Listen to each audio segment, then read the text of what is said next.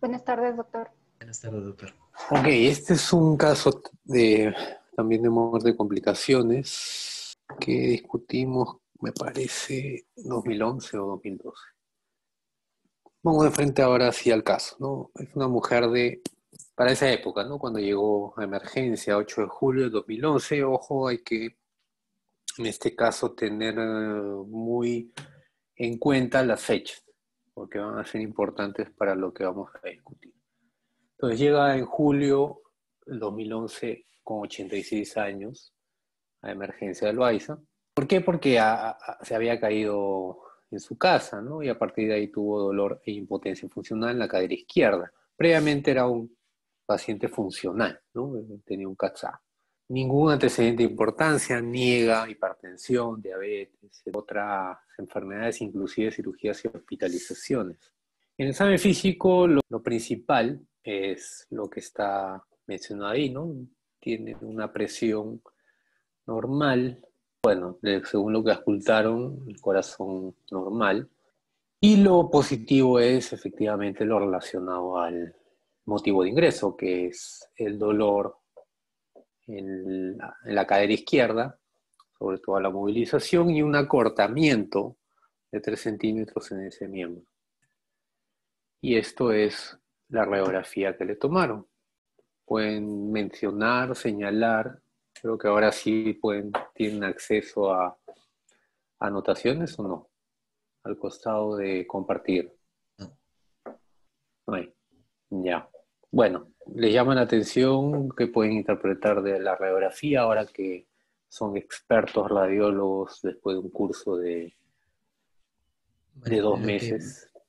lo que me llama más la atención es que en ¿qué sería esto? La cabeza de la cabeza del fémur, bueno, en la conexión hay, esto, hay una clara fractura ahí, ¿no? De, Hay una fractura, ya, de cabeza de fémur. No es de cabeza, pero es de... anatomía, ¿no? Es de la conexión que hay entre la cabeza del fémur y el hueso, y, el resto del hueso. Y, el, ¿Y cómo se llama eso? Tiene un nombre, ¿no? Y es donde generalmente ocurren las fracturas de cadera, ¿no? Bueno, ¿Cuál es el diagnóstico? Bueno, ya lo dijiste, es una fractura de cadera. Siempre debe hablarse las cosas con propiedad, ¿no? Entonces, con el, cuadro clínico sugería eso y en la radiografía se confirma. Estas son, es la misma placa, ¿no? Del mismo día, solo que una es, de, es digital, que es esta, la derecha, y la otra es convencional, ¿no? Para, le pongo así para que vean la, nitidez, ¿no? la resolución de cada, de cada placa. Entonces, si vamos acá, la que tiene menos resolución, esto es... Entonces, el... Ya. Ah, claro, ¿no? Lo quiero que vean, claro, el cuello. Eso es. Entonces, por acá viene así, y esta es la cabeza que se ha quedado en su sitio, ¿no? y acá está, pero está desplazado. Y acá se ve mejor, ¿no? Acá se ve más nítido, ¿no? Aquí se ve el trazo inclusive de fractura y acá se ha quedado la cabeza. Y acá está parte de, inclusive, digamos como que encaja, los segmentos y se ha desplazado, ¿no? Se ha roto y se ha ido hacia arriba. Y eso explica. El acortamiento de ese miembro, ¿no? Tres centímetros. Entonces el diagnóstico es una fractura de cuello femoral. ¿Y por qué les pongo este caso? No me he equivocado. No. Vamos a ver. ¿Han visto esta serie en Netflix? Bueno, si tienen Netflix, ¿no? Marina, sí. sí las tres temporadas o solo o todavía no los acaba? Las dos nada más. Dos. Ah, no ha visto la tercera. La más compleja es la primera. La segunda entiende más cosas y la tercera es más rápida, pero te resuelve todo, todo el misterio, ¿no? Es buena, muy buena, muy buena serie. Sobre todo a los que les gusta la ciencia ficción y los viajes en el tiempo, ¿no? Porque es una serie de, de viajes en el tiempo. Este es el afiche de la primera temporada. ¿Esta película la han visto? Sí. Sí. Ya. En español, en castellano se llama Regreso al Futuro. Es una trilogía, ¿no? Y era la película clásica de viajes en el tiempo. En este caso es una comedia, ¿no? la serie es un drama más, más que todo. ¿no? Y si no he visto las tres películas, son muy buenas. ¿no? No, es entretenimiento, pero son muy bien, muy bien filmadas, ¿no? Y, y calza todo, ¿no? Calza todo, sobre todo la primera y la segunda. ¿Y por qué les pongo estas dos afiches, no? Es porque vamos a retroceder en el tiempo en esta, esta paciente. Vamos a ir 12 años atrás. Obviamente lo que he hecho es revisar la historia antigua de la paciente y lo voy a poner como cómo se ha ido esta paciente viendo antes de llegar al hospital con la fractura de cadera. ¿no? Entonces, su primera consulta, o la primera consulta que aparece en la historia, no, no necesariamente es la primera consulta médica que ha tenido en su vida, ¿no? es en el 99. Y en esa época tenía 69 años. ¿Y por qué acudió al consultorio de medicina interna? Porque tenía dolor de rodillas. Varios años, no está explícito cuántos años tenía, y además esto se asociaba a crujido y que inclusive aparecía hasta para caminar. Ya tenía el antecedente para esa época de, con artrosis, para lo cual tomaba indometacina, una cápsula al día. ¿Saben qué es la indometacina? Por lógica que podrían deducir. ¿Qué, qué es un analgésico?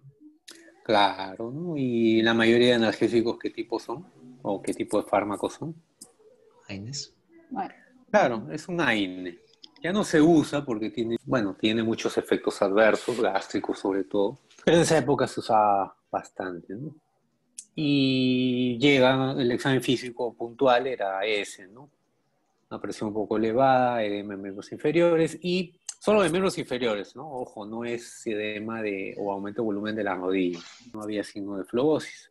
Entonces, con esa, con ese relato que plantearían ustedes como problemas, síndromes. Y bueno, ya estamos en la quinta práctica. Espero que ya hayan interiorizado y sistematizado que primero se plantean problemas y después diferenciales. Bueno, tenemos eh, altralgia de rodillas con altralgia. Ok. Gonalgia bilateral. Ya. Gonalgia. ¿Qué más? Primero tiene edema, edema de miembros inferiores. Ya, edema de miembros inferiores. ¿Qué más? ¿Otro problema tiene? En ese momento llega con 140 de presión sistólica, entonces tiene la presión elevada. Presión elevada. Aunque solo tenemos un valor, pero es un problema, ¿no?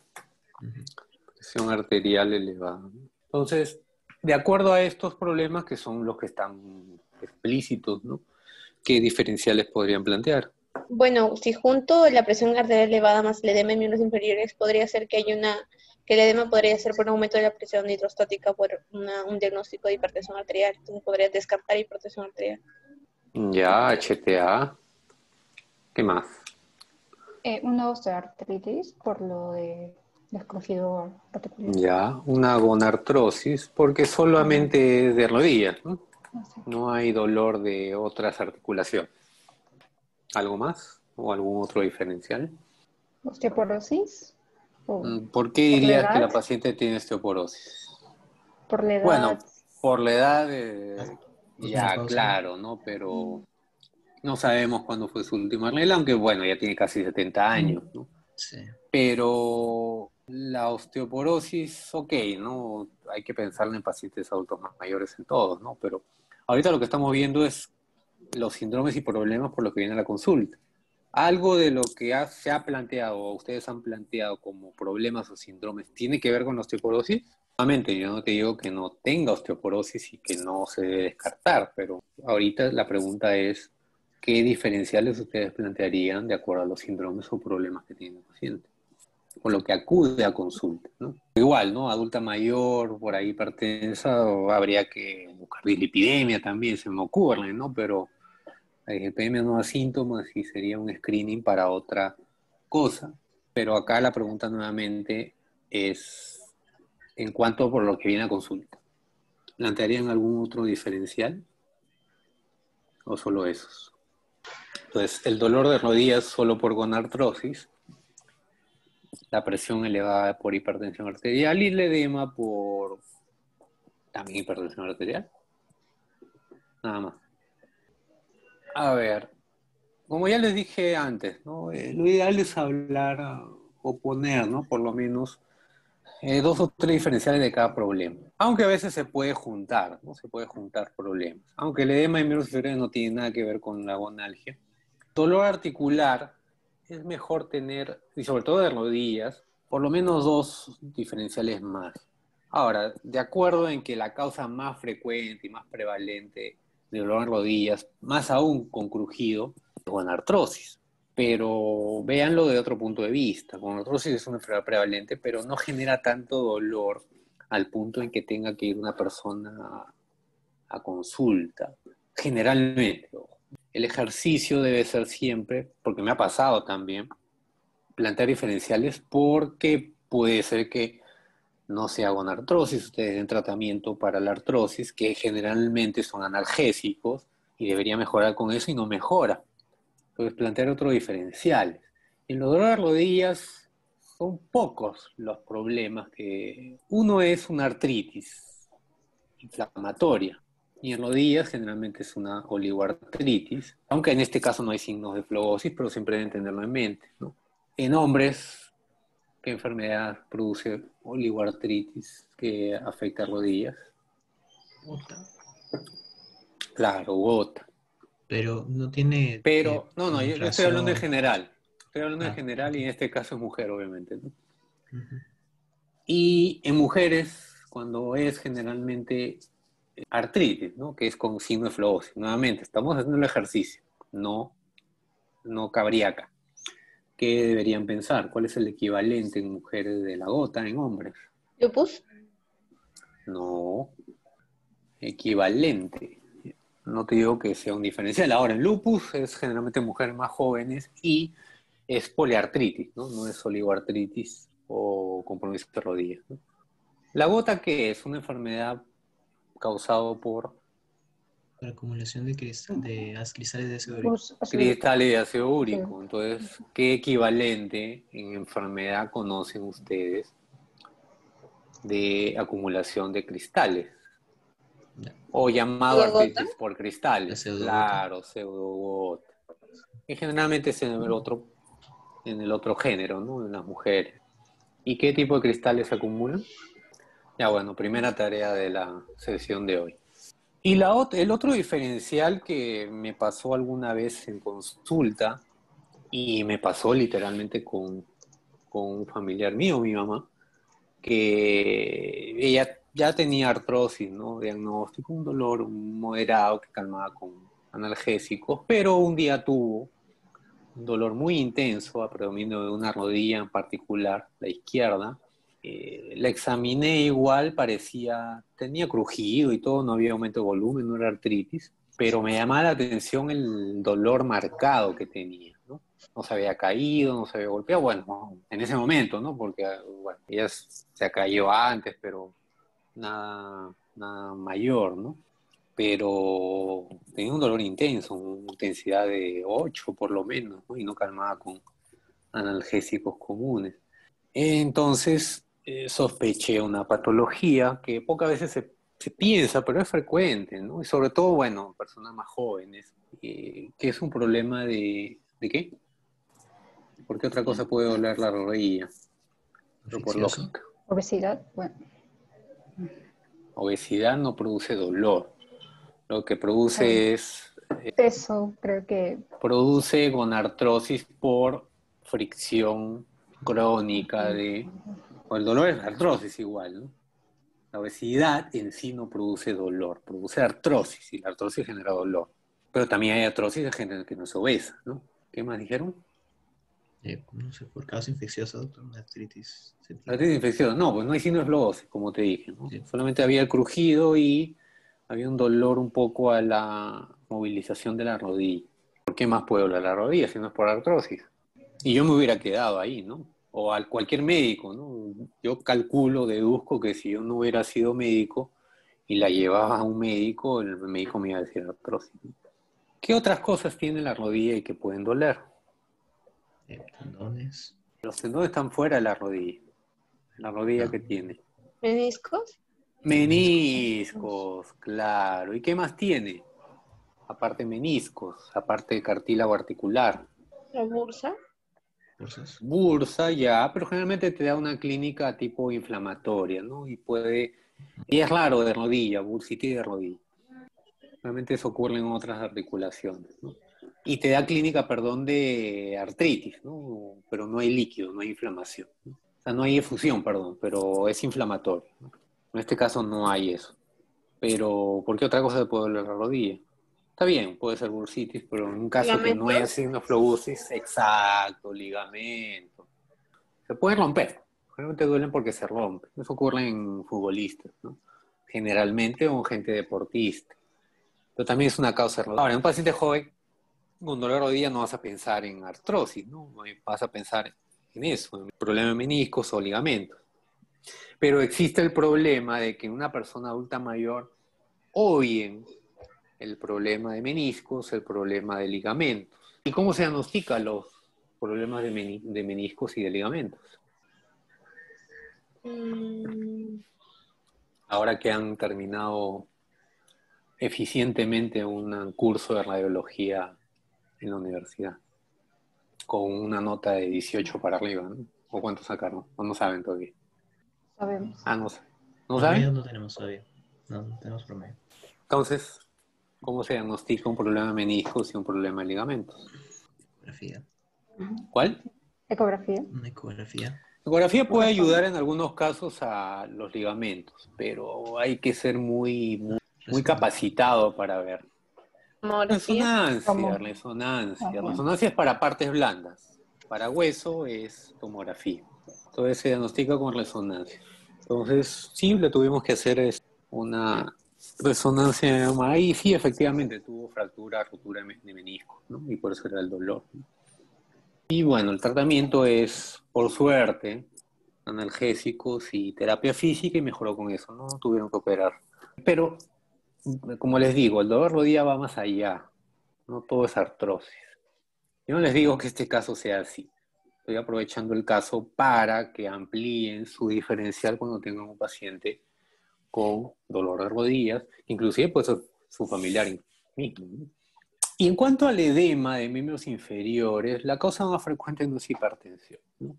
¿Cuál es la causa más frecuente de edema bilateral de miembros inferiores? Enfermedad renal crónica.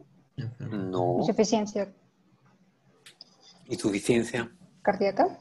cardíaca. Uy, casi pensé que ibas a decir la respuesta correcta. Es una causa así poco más frecuente que... que- ¿Cirrosis? No, antes, antes ¿qué, ¿cuál fue tu primera respuesta? Se me pasó. Enfermedad renal crónica. Ahí está, IRC, ¿no? Bueno, aunque ahora está subiendo la enfermedad renal crónica. Pero la, la IRC no te da solo edema en miembros inferiores, ¿no? Te da edema más general, ¿no? Más, más generalizado, al igual que la cirrosis también. La falla cardíaca sí, ¿no? Te da edema más de gravedad, de miembros inferiores, etcétera, pero aún así no es la más frecuente, la enfermedad más frecuente que da edema. Es algo que lam- lamentablemente no se enseña, ¿no? pero todos los hemos tenido en mayor o menor grado, sobre todo cuando a partir de los 25, 30 años. ¿no? ¿Qué enfermedad es esa? ¿Insuficiencia venosa? Claro, insuficiencia venosa crónica. Es la causa más frecuente de edema en general, ¿no? Cuando uno habla de frecuencias, no habla de el consultorio tal o el hospital tal, ¿no? Sino habla de población general. Entonces, si juntamos, o si hablamos de población general, no es muy frecuente que alguien tenga insuficiencia cardíaca que lleve edemas o alguien tenga falla renal crónica que lleve edemas. Quizá ustedes lo puedan ver más frecuente porque aprenden medicina en un hospital.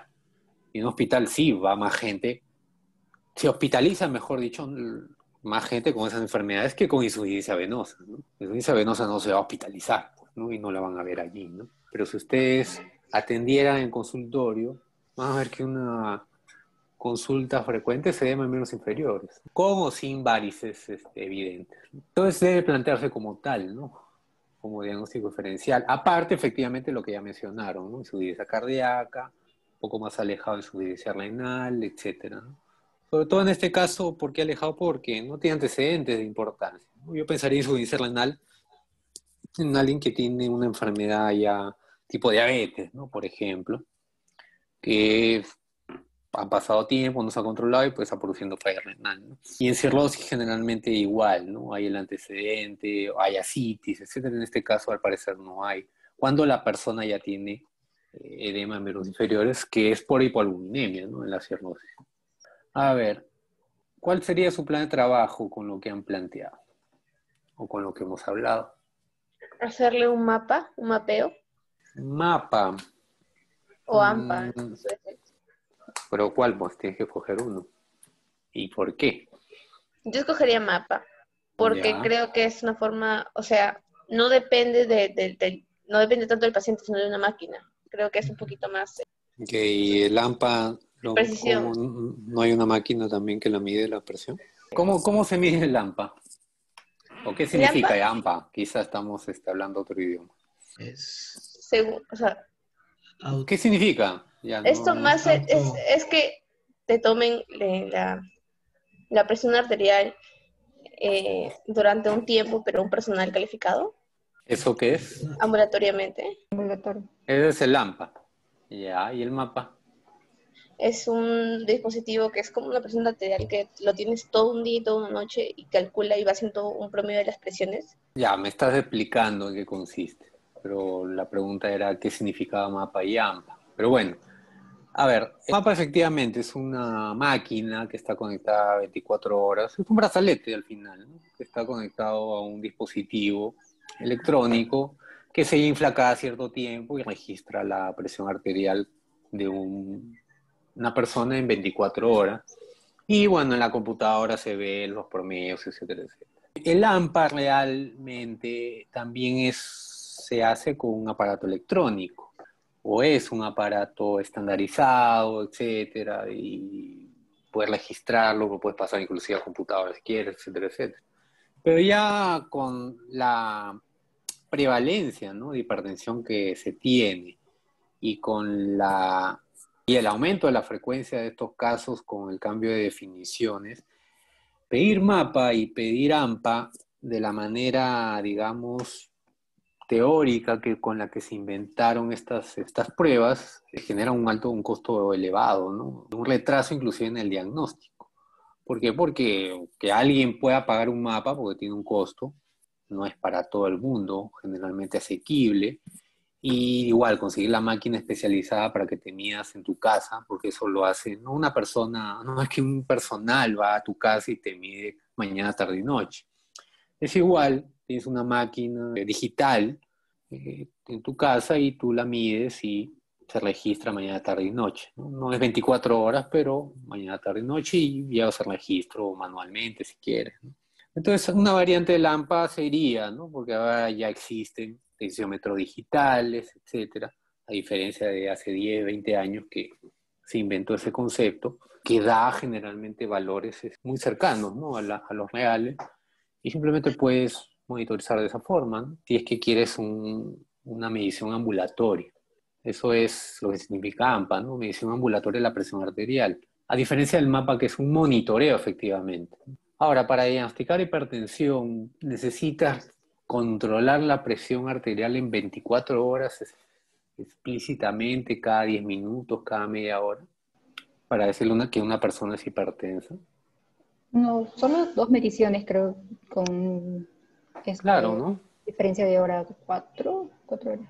Claro, el problema del, del AMPA y del mapa, o generalmente para qué se pide, una grabación del video explicamos eso, grandes rasgos, en resumen se lo digo, es más cuando tienes duda, cuando tú sospechas que no se trataría de una paciente hipertensa, sino de una hipertensión de bata blanca, o un efecto bata blanca. Pero eso solamente lo pensaría si es que la paciente no tiene ningún factor de riesgo, es más joven y cada vez que tú evalúas a ese paciente le encuentras la presión arterial, pero en su casa tú le dices que se mida y está normal. Entonces ahí tienes la disyuntiva. ¿Es hipertensa o es efecto bata blanca? Porque ahí va a haber un tema en el manejo. Pero si tú encuentras la presión elevada ahorita en tu primera consulta y le dices al paciente, consígase un tensiómetro que le va a servir toda su vida, se mide la presión en su casa y lo apunta y todos los valores están de 140, 90 para arriba, esa paciente que diagnóstico tiene. Atención. Hipertensión arterial. Acá sería distinto, ¿no? Ya si tú ves que tú le mides presión arterial elevada y en su casa con el monitoreo del tensiómetro digital su presión está normal y tú dudas, ahí sí le puedes pedir un mapa. Pero el escenario más frecuente es el que tiene la presión elevada en consultorio y el que tiene la presión elevada en su casa. Y ahí no necesitas mayor cosa. ¿no? Y haces el diagnóstico. Entonces, solo en el caso, de, si tienes mucha duda, le pedirías un control ambulatorio. ¿no? Un control ambulatorio de, para diagnosticar el, la hipertensión arterial. ¿Qué más le pediría? De todas maneras, le pediría una radiografía de, ¿De qué? de rodilla.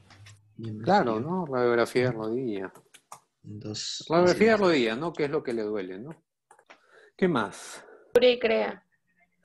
También, aunque no lo hemos escrito, pero ya hablamos que el edema también puede ser por renal. ¿Qué más? ¿Algo más? EKG. EKG, ¿para qué el EKG? Porque, o sea, estoy pensando que otra de las causas puede ser insuficiencia cardíaca y, y también, bueno, eh, no, no tengo diagnóstico de hipertensión, por eso solo tengo una visita con 140, pero en el caso de que tuviera Y podría el E- estar mostrando ya cambios en el EKG de hipertrofia ventricular izquierda que me podrían ayudar a pensar de repente en, en insuficiencia cardíaca. A ver, a ver, 69 vamos por partes. El EKG, como tal, solo el EKG, ¿te sirve para diagnosticar insuficiencia cardíaca? No, Un ProBNP. no. No, primero terminemos con el con lo de que ha mencionado Juan. Voy a aclarar conceptos, hay que tenerlos claros. No, dijiste Juan, ¿no? Pero que sí te permite. Eh, También lo has mencionado, pero hay que dejarlo claro. ¿no? Que sí te permite el permite ver- EKG en el caso de... Sí, algunos, algunos signos electrocardiográficos de, que estarían en una persona que tiene también insuficiencia cardíaca, ¿como cuáles? hipertrofia ventricular izquierda. No, no, no, a ver, a ver, a ver, nuevamente vuelves al concepto inicial que no es correcto. Un EKG te permite efectivamente demostrar en algunos casos, no en todos, hipertrofia ventricular izquierda con algunos hallazgos, que no es parte, no es el objetivo de aprendizaje de acá. Pero tú puedes tener, puede ocurrir dos cosas. Tú puedes tener insuficiencia cardíaca sin tener cambios en el EKG de hipertensión, de hipertrofia ventricular izquierda. Y al revés, tú puedes tener hipertrofia ventricular izquierda y no tener insuficiencia cardíaca. Porque los criterios de insuficiencia cardíaca son otros, no son electrocardiográficos. Entonces, nuevamente, el concepto no es que pida un EKG para diagnosticar perdón, insuficiencia cardíaca. Es para la posibilidad de, o para el estudio de un paciente con hipertensión arterial o posible hipertensión arterial. Eso sí es correcto. Por ejemplo, ¿no? si esta pers- persona tengo dudas, ¿no? nunca ha tenido el diagnóstico de hipertensión arterial, yo le mido la presión elevada, le tomo el EKG y sale hipertrofia ventrículo izquierdo, ustedes medirían otra vez la presión arterial para ver si tiene diagnóstico de hipertensión, etcétera, o pedirían un mapa, etcétera. No. No, pues no, o sea, porque ya tiene consecuencias de la hipertensión arterial de larga data. Entonces, que se mide en su casa y esté normal, no descarta el diagnóstico. ¿no? Entonces, es para, y lo pongo mejor, hipertrofia ventrículo izquierdo, en este caso. Diagnosticar insuficiencia cardíaca serviría más. Aunque no lo han planteado acá, también lo conversamos. Que otra prueba. Ahí ya habló este Catherine que el ProBNP, ¿no? El ProBNP sí es un marcador sensible para casos de insuficiencia cardíaca, ojo, descompensada. No es para insuficiencia cardíaca compensada. ¿Alguna otra prueba? El colesterol podría ser. Bueno, en general, como hablamos, ¿no? Si es una paciente hipertensa, este, como adelantamos, ¿no? Eh, probablemente obesa, aunque no está puesto ahí porque tiene gonartrosis. Eh, valdría la pena buscar otro factor de riesgo cardiovascular, ¿no? ¿Algo más? Podría ser una ecografía de, de la rodilla. Ecografía rodilla. A ver, la ecografía rodilla ayuda cuando tienes generalmente aumento de volumen, pero cuando la rodilla no tiene aumento de volumen, hablo de fusión, ¿no? hablo de inflamación como tal. Eh, no te ayuda mucho, ¿no? No te ayuda mucho la ecografía de, de rodilla. ¿Tiroides? ¿Qué tiroides? Hipotiroides, o sea, TSH, T, ¿Y por qué planteas hipotiroidismo acá, en eh, este caso? Primero, o sea, por su edad podría ser, y segundo, Por la edad planteas, o sea, tú No, dices que en mujeres de 69 años tenemos que descartar, aún así no tengan ningún síntoma de hipotiroidismo, de hipotiroidismo, y tenemos que pedirle hormonas tiroideas. Sí, No, eso eso no es. Mira, aunque en el hospital lo hacemos, o se ha hecho, perdón, yo te diría que hipotiroidismo que requiere un tratamiento farmacológico saldría en menos del 10% de casos. Y ojo, estamos hablando de pacientes hospitalizados que generalmente tienen algún problema de salud, ¿no? Y son adultos mayores, ¿no? Pedir un TSH de 4 libras en alguien que no tiene clínica de eso no, no sería, por decirlo así, costo efectivo, ¿no? Acá también podemos pedir screening de muchas cosas, pero hay que racionalizar pruebas generalmente. Todo tiene un costo, aunque un paciente tenga salud o tenga CIS, si tú le pides algo que es muy probable que salga, normal, le estás quitando, sobre todo en un país subdesarrollado como el nuestro, ¿no? estás quitando un recurso a una persona que sí lo necesita. Y cuando necesites hacer esa prueba a una paciente que viene con clínica de coma mixedematoso, quizás nos damos cuenta que se acabó el reactivo. ¿no? ¿Algo más? ¿Algún otro plan de trabajo? A ver. ¿Y qué manejo le van dando? ¿O no le dan ningún manejo y esperan los resultados? Porque ojo, ¿no? Nuevamente, estamos en consultorio, evalúan al paciente o a la paciente, ustedes plantean un diagnóstico probable, definitivo, un plan de trabajo, pero ese plan de trabajo no va a estar inmediato.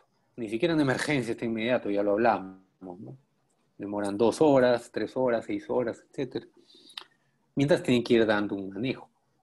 En este caso, si es consultorio, no va a estar ese día, probablemente esté en varios días. Pues la paciente acude con una molestia. ¿Le darían algún manejo o no? E- Era el dolor intenso lo que presentaba en la rodilla cuando llegó. Generalmente los pacientes que llegan al hospital, sobre todo a consulta ambulatoria, a un hospital grande en el cual te dan citas después de dos a tres meses, el dolor no es soportable. ¿no? E inclusive no le calma con la terapia que habitualmente da el, el primer médico, bueno, o el personal de salud de atención primaria en el Perú, que es el farmacéutico. ¿no? Realmente acude al médico cuando falló ese tratamiento, ¿no? Falló el tratamiento que le dieron en la farmacia. Entonces, para eso ha pasado tiempo y para eso el dolor debe ser por lo menos de moderada intensidad. ¿no? Entonces, ¿le dan algún manejo o no? El dolor. Ya, por eso, le dan algún manejo. Si, si eligen dar manejo para el dolor, ¿qué analgésico? Teóricamente era una tarea, Sí, puede ser. o es algo que ya vimos.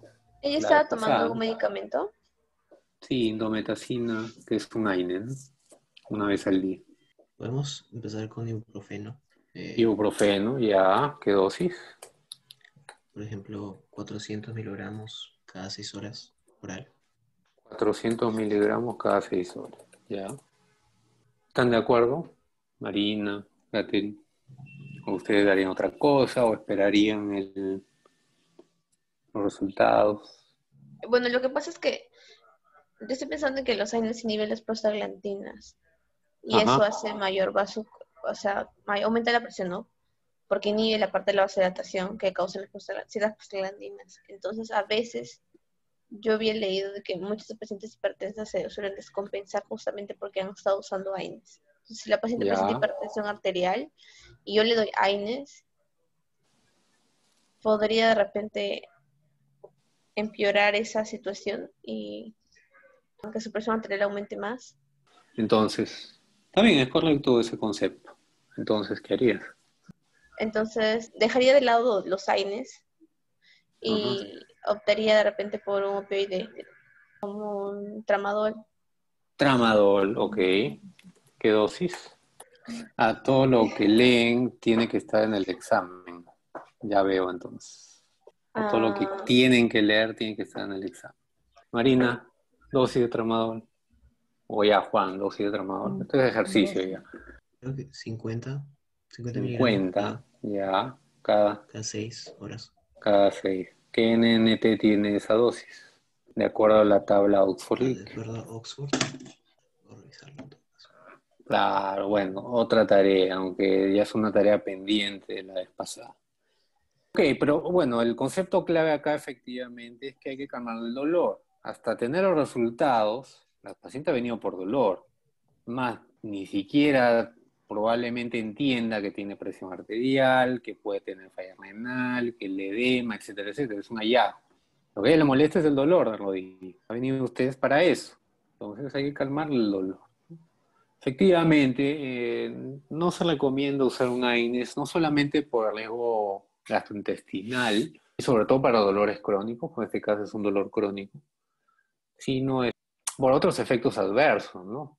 También produce efectos adversos renales, efectivamente cardiovasculares. ¿no? Uno de ellos es, no solamente elevación de la presión, ¿no?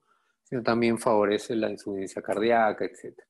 Ok, entonces la paciente le pusieron estos diagnósticos en consultorio de medicina, descartando nefropatía por AINES por los edemas, artrosis de rodillas, la furosemida, paracetamol para el dolor y alprazolam. Le pidieron solo esto, no le pidieron más de lo que ustedes mencionaron. Interconsultar la hematología y una placa de rodillas que la vamos a ver más adelante. Y vuelve una semana después.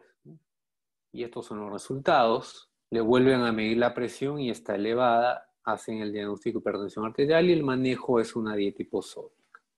¿Qué opinan? ¿Qué les parece? Bueno, en- con, la guía del AJA de este año, de 2020, la hipertensión arterial, según, según lo leí, este, para dar tratamiento tienes que sacarle sus factores de riesgo. Hay una tabla donde comparas la presión arterial y el tipo, si es tipo 1, tipo 2 o presión elevada, y lo comparas con los factores de riesgo asociados a hipertensión arterial y lo especificas en bajo, moderado y alto. Y dependiendo de eso, eh, haces el tratamiento. Según lo que leí, era que a los de bajo, moderado, puedes iniciarle estilos de vida, sobre todo abarcar eso, y a los tres meses vuelves a tomar la presión. Si está elevado y empiezas con la doble dosis de IECA más antagonistas de calcio dipeptídicos en dosis bajas. Pero también te dan otra opción de que podrías incluir en los pacientes bajo moderados o bajos moderados podrías incluir una, una monoterapia y en los pacientes adultos mayores de más de 70 años, me parece. Mm, Pero eso es Ya, lo que leí. Entonces, darle tratamiento tendría que, tendría que preguntar los factores de trabajo asociados y identificarlos dónde está, según la, la guía de este año. ¿qué factores de riesgo, por ejemplo, buscarías? Diabetes, enfermedad renal crónica, antecedentes familiares, enfermedades cardiovasculares. Y si no tiene ningún factor de riesgo, ¿qué harías? En, ¿En qué edad tenía? tienes bajo. Tienes 60 69. 69. 69 años. Bueno, entonces si no tiene ningún factor de riesgo, sí podría iniciar tratando, o sea, embarcándome en los estilos de vida, unos tres meses. ¿A qué si- significaría estilo de vida? Una Eh, dieta bueno, hiposódica. dieta hiposódica, Ya. eh, no tomar bebidas como café, té, té verde, té negro, ejercicios, estar con sobrepeso, no fumar, no, ta- no alcohol, no tabaco.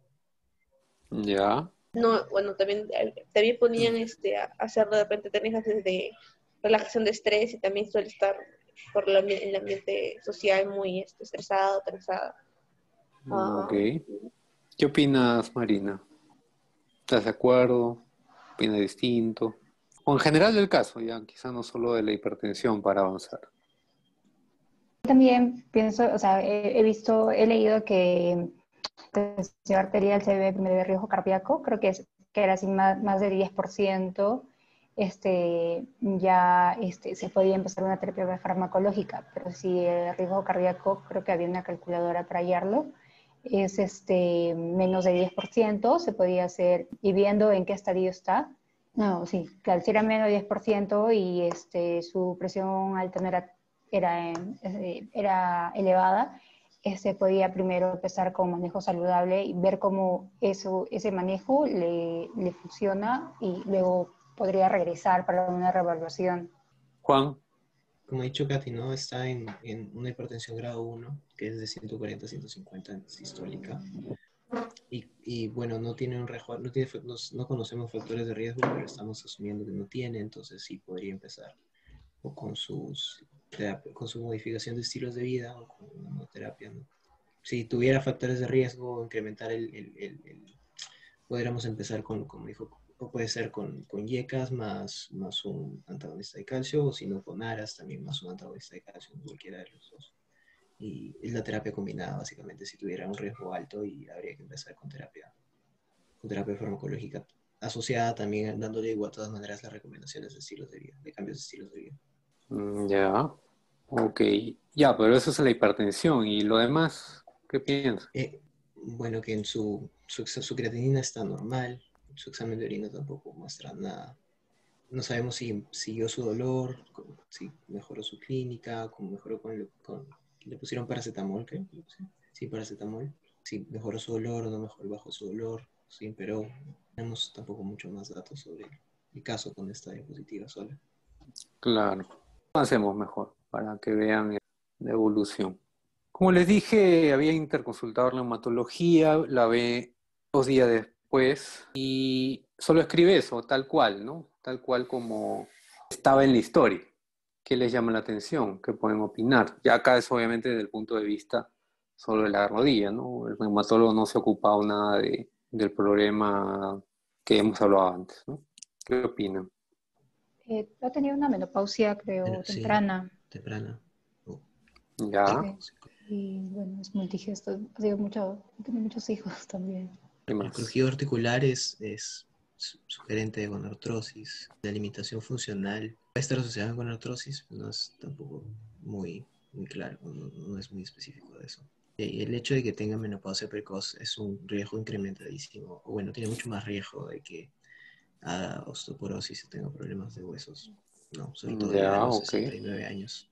A ver, ¿qué otros problemas tiene la paciente? Tiene, ya, bueno, para esa época, ¿no? 99, tiene gonartrosis, tiene una ingesta de AINES crónica, ¿no? Una hipertensión arterial ya tiene dos valores, ¿no? de presión elevada una menopausia precoz y una edema en miembros inferiores que no tiene causa renal, ¿no? porque la función renal es normal, a menos con la información que tenemos hasta o que le pidieron. ¿no? Y esta es la placa de rodillas. ¿Se llama la atención algo? El espacio, el, bueno, está... Está una reducción del espacio particular. intraauricular.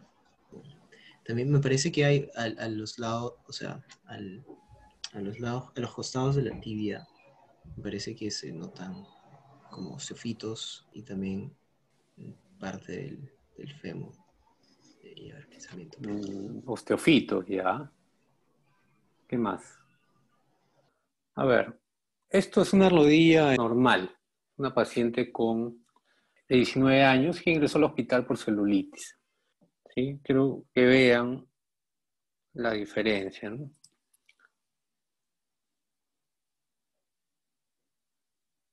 El espacio y los bordes del hueso. Entonces vamos a volver a ver esta rodilla que le llama la atención comparando. Se ve una disminución ósea, o sea, en la parte de... Disminución ósea, ¿cómo significa? ¿Qué es disminución ósea? O sea, la densidad no se, se ve radiolúcido.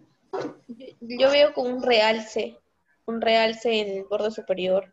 ¿Realce dónde? Sería borde, el borde inferior de fémur. Borde inferior del fémur.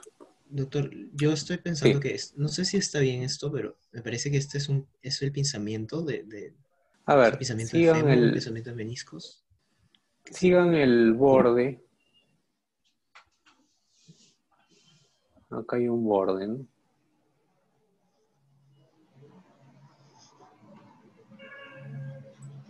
Y acá hay otro borde.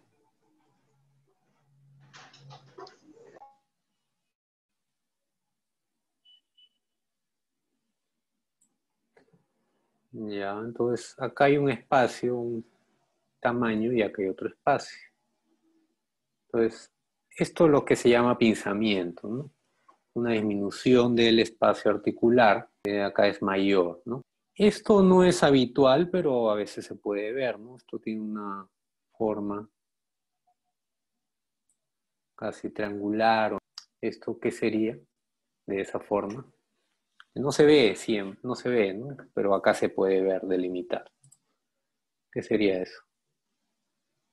¿Rótula? No, la rótula está acá, ¿no? Claro, es un menisco, pero si está hiperdenso, es, es calcificado, ¿no? Es un menisco calcificado. Y otra cosa que llama la atención, nuevamente, si ven acá, es el borde, ¿no? Hay marcada diferencia en ambos lugares, ¿no?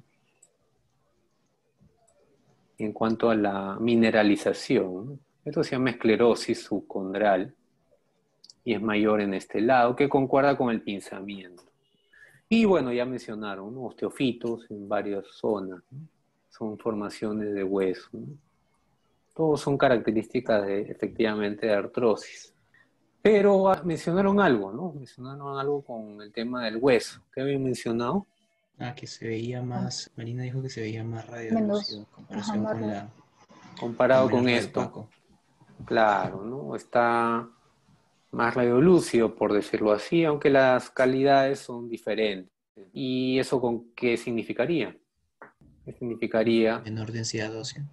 Claro, ¿qué significaría menor densidad ósea? Osteopenia. Osteoporosis significaría, ¿no? ¿Y con esto ustedes podrían diagnosticar osteoporosis o no? Solo con esa radiografía yo diría que no. Necesitamos una densitometría ósea. Una densitometría. Historia de fracturas. Historia de fracturas, ya, ok.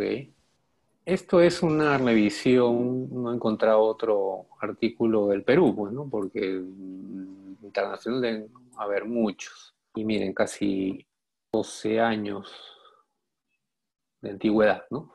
Y es un estudio descriptivo nomás, ¿no? Acá comparan, fue hecho en la FAB, comparan con otras bibliografías, ¿no? Y por estratificación de años.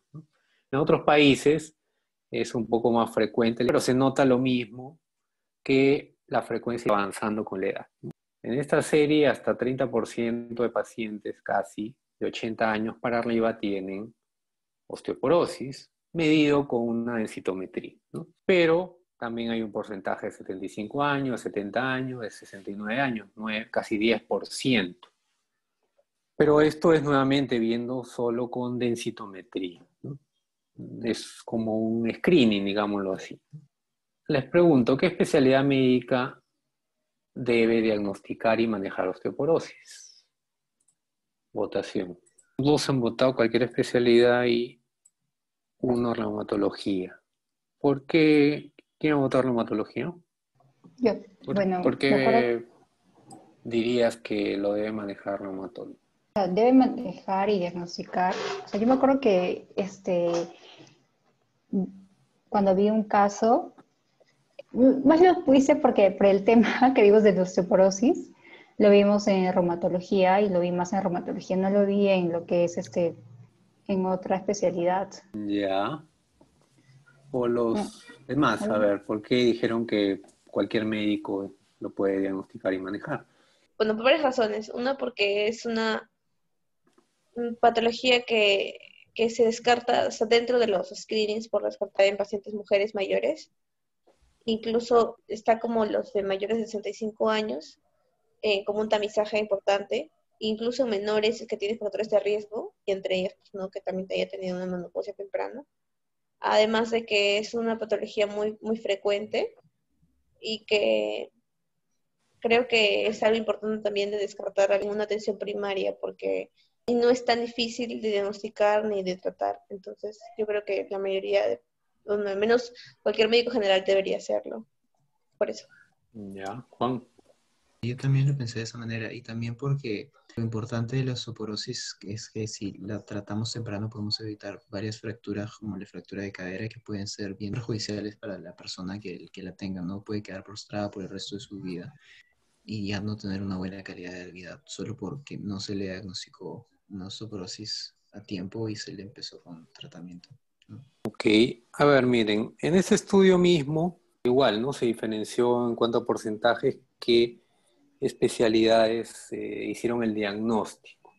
Y la mayoría efectivamente fue hecho en reumatología, pero también ha habido casos que fueron diagnosticados en diferentes especialidades.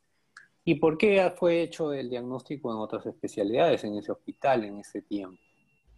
¿Por tamizaje? Difícil, ¿no? Que alguien vaya al endocrino para hacerse un screening. No, pero, o sea, va un paciente endocrino y el, doctor, el endocrino le, hace una densitometría de todas maneras como, como screening.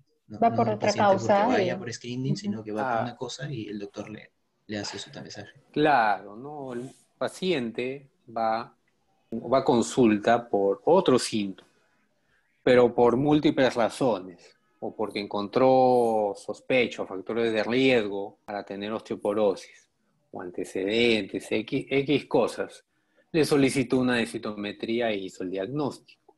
Lo que hubiera pasado si esos pacientes no iban o no tenían molestias y acudían a endocrino, ginecología o medicina, o sea, otra especialidad que no sea reumatología, ¿qué iba a pasar?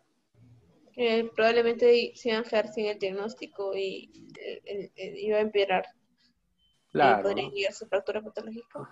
Ahora, para nuevamente, dejar los conceptos claros. La osteoporosis no da síntomas. Se trata para evitar la fractura, con todo lo que conlleva tener una fractura mayor, sobre todo, sobre todo de cadera. Entonces, para eso se diagnostica y se trata. Y generalmente se diagnostica más el reumato porque la mayoría de gente cree que la osteoporosis produce dolor. Y ya el reumatólogo no se ocupa, no pierde mucho tiempo y le pide la citometría de frente, ¿no? pero lamentablemente debería ser, eh, no, no, solamente actuar de automatismo, sino de dejar claro que ella puede tener osteoporosis, pero no es la causa de sus molestias, de sus dolores. ¿Por qué es importante dejar en claro eso? Que la osteoporosis no duele o no produce dolor.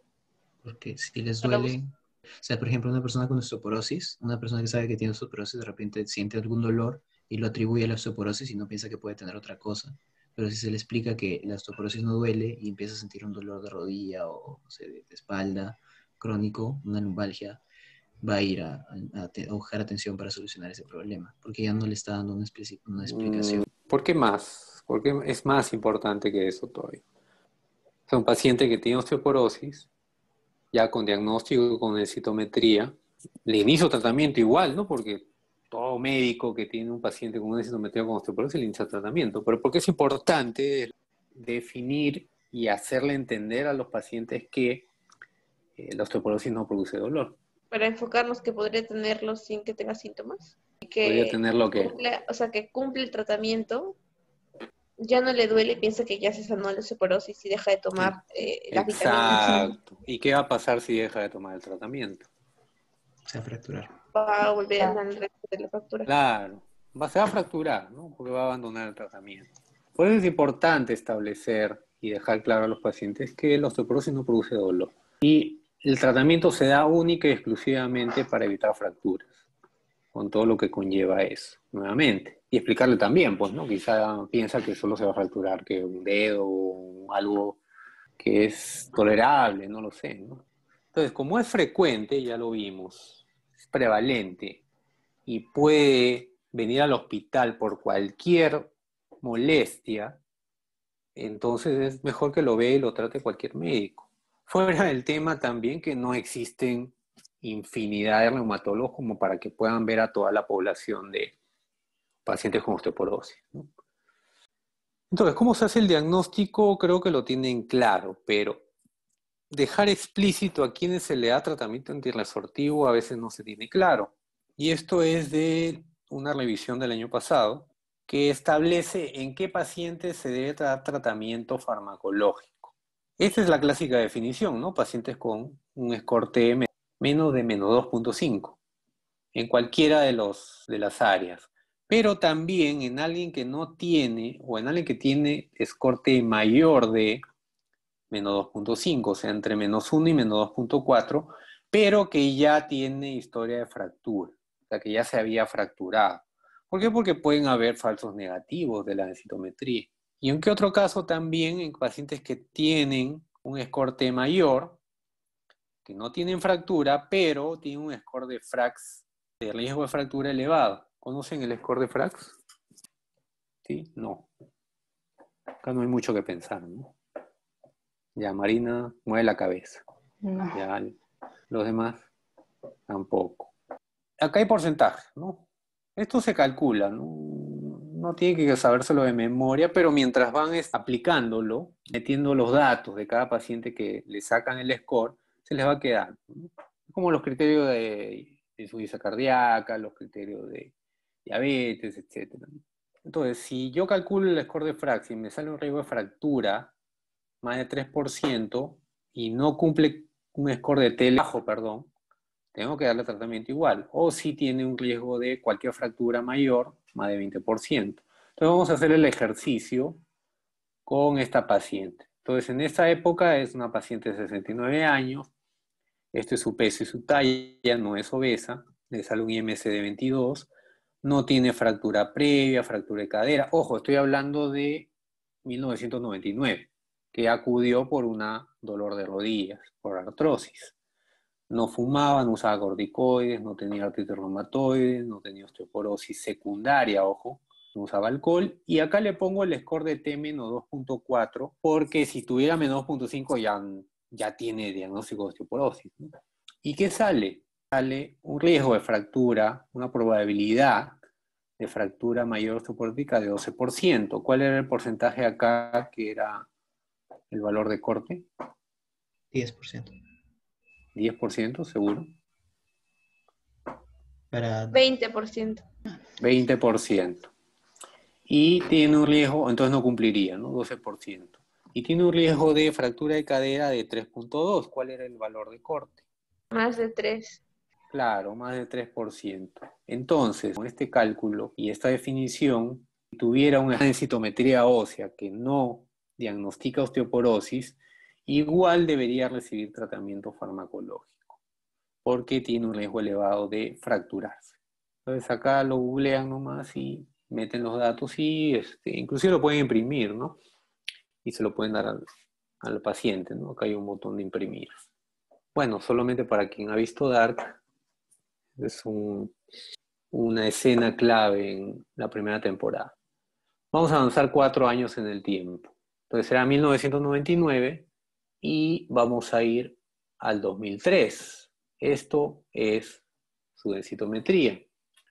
¿Qué podrían decir? Tiene, que está por debajo del 2.5. Todos, en todas está por debajo del menos 2.5. Claro, entonces, ¿cuál sería el diagnóstico? Va a ser menor igual. Osteoporosis. Osteoporosis, ¿no? ¿Y qué les llama la atención de además de esta densitometría? ¿De qué año es? del 2003. ¿Y en qué año se atendió la paciente? En el 99. 99. ¿Qué ha pasado? Ha progresado su osteoporosis. Bueno, no sabemos, ¿no? No tenemos ninguna citometría previa. Entonces, ¿qué pasó con la paciente? A ver, probablemente acá no hay una escrito, una consulta, ¿no? Pero ha pasado cuatro años para que se haga una densitometría por X razones, no sabemos por qué. Pero recién acá le han dicho, o ha salido que tiene osteoporosis. ¿Qué pudo haber pasado? De repente ya se fracturó.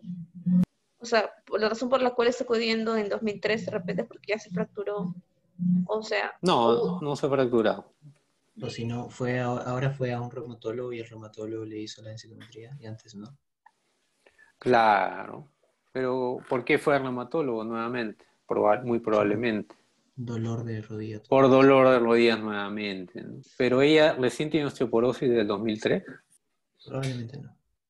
Y en esos cuatro años pudo haberse fracturado, porque un score de T menos de menos 3.5 es un riesgo alto.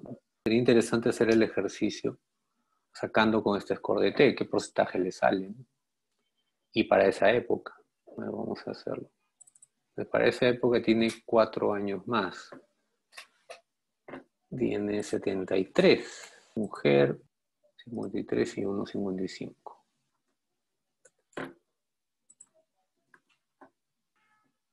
Menos 3.0 que es el promedio. un poco más alto. 4.6 de fractura de cadera. Para el año 2003.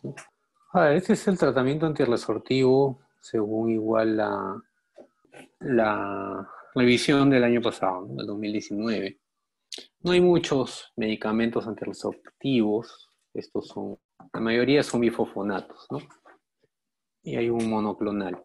¿Cuál escogerían? ¿Y por qué? Porque según esto tiene todos evidencia A, ¿no? De eficacia. O sea, creo que el, solendrónico es una sola dosis este, al año. Entonces, es, pero es más caro también, si no me equivoco. Entonces, ahí depende de, de esa parte, de la parte económica del paciente. El endronato es, también creo que solo se puede, solo es durante tres años, mientras que el endronato o el risendronato van, puede ser de cinco hasta, incluso se puede prolongar hasta diez años la terapia. Entonces, solendronato. Ya. ¿Qué dicen los demás? Supongo que básicamente es eso, ¿no? Cambia el modo o el tiempo que se administra. De repente veríamos si la paciente puede ser este. Si se ve que podría pegarse el tratamiento o no, o si es que no tiene mayor apoyo y de repente se le dificulta ir cada cierto tiempo, cada mes. Marina. Es una vez al año y, bueno, no sé el costo, pero ese es el, el que parece no vas a estar como que tomando pastillas todos los días, y entonces es el, mejor, ¿no? O sea, en cuanto a adherencia a tratamiento. Ya. Como ustedes toman decisiones, creo que ya lo hablamos en la charla previa, ¿no? No solamente tiene que ver la, la eficacia, efectos adversos, sino qué cosa también. Ah, bueno, adherencia, ¿no? También, obviamente sí, de acuerdo, ¿no? si un medicamento es eficaz, es efectivo y solamente lo tengo que aplicar una vez al año, por mi mejor, ¿no? Pero hay que entraría a tallar, además. Porque los efectos adversos son similares, ¿no? Porque todos son bifofonatos, casi todos, y tienen que ver con la, el tema del calcio, entonces todos te pueden dar efectos secundarios de hipocalcemia, etcétera, ¿no? Que entra a tallar acá además. Si todos tienen similar eficacia. Bueno, quizá la ventaja por ahí se va hacia uno en el tema del, intervalo de tiempo.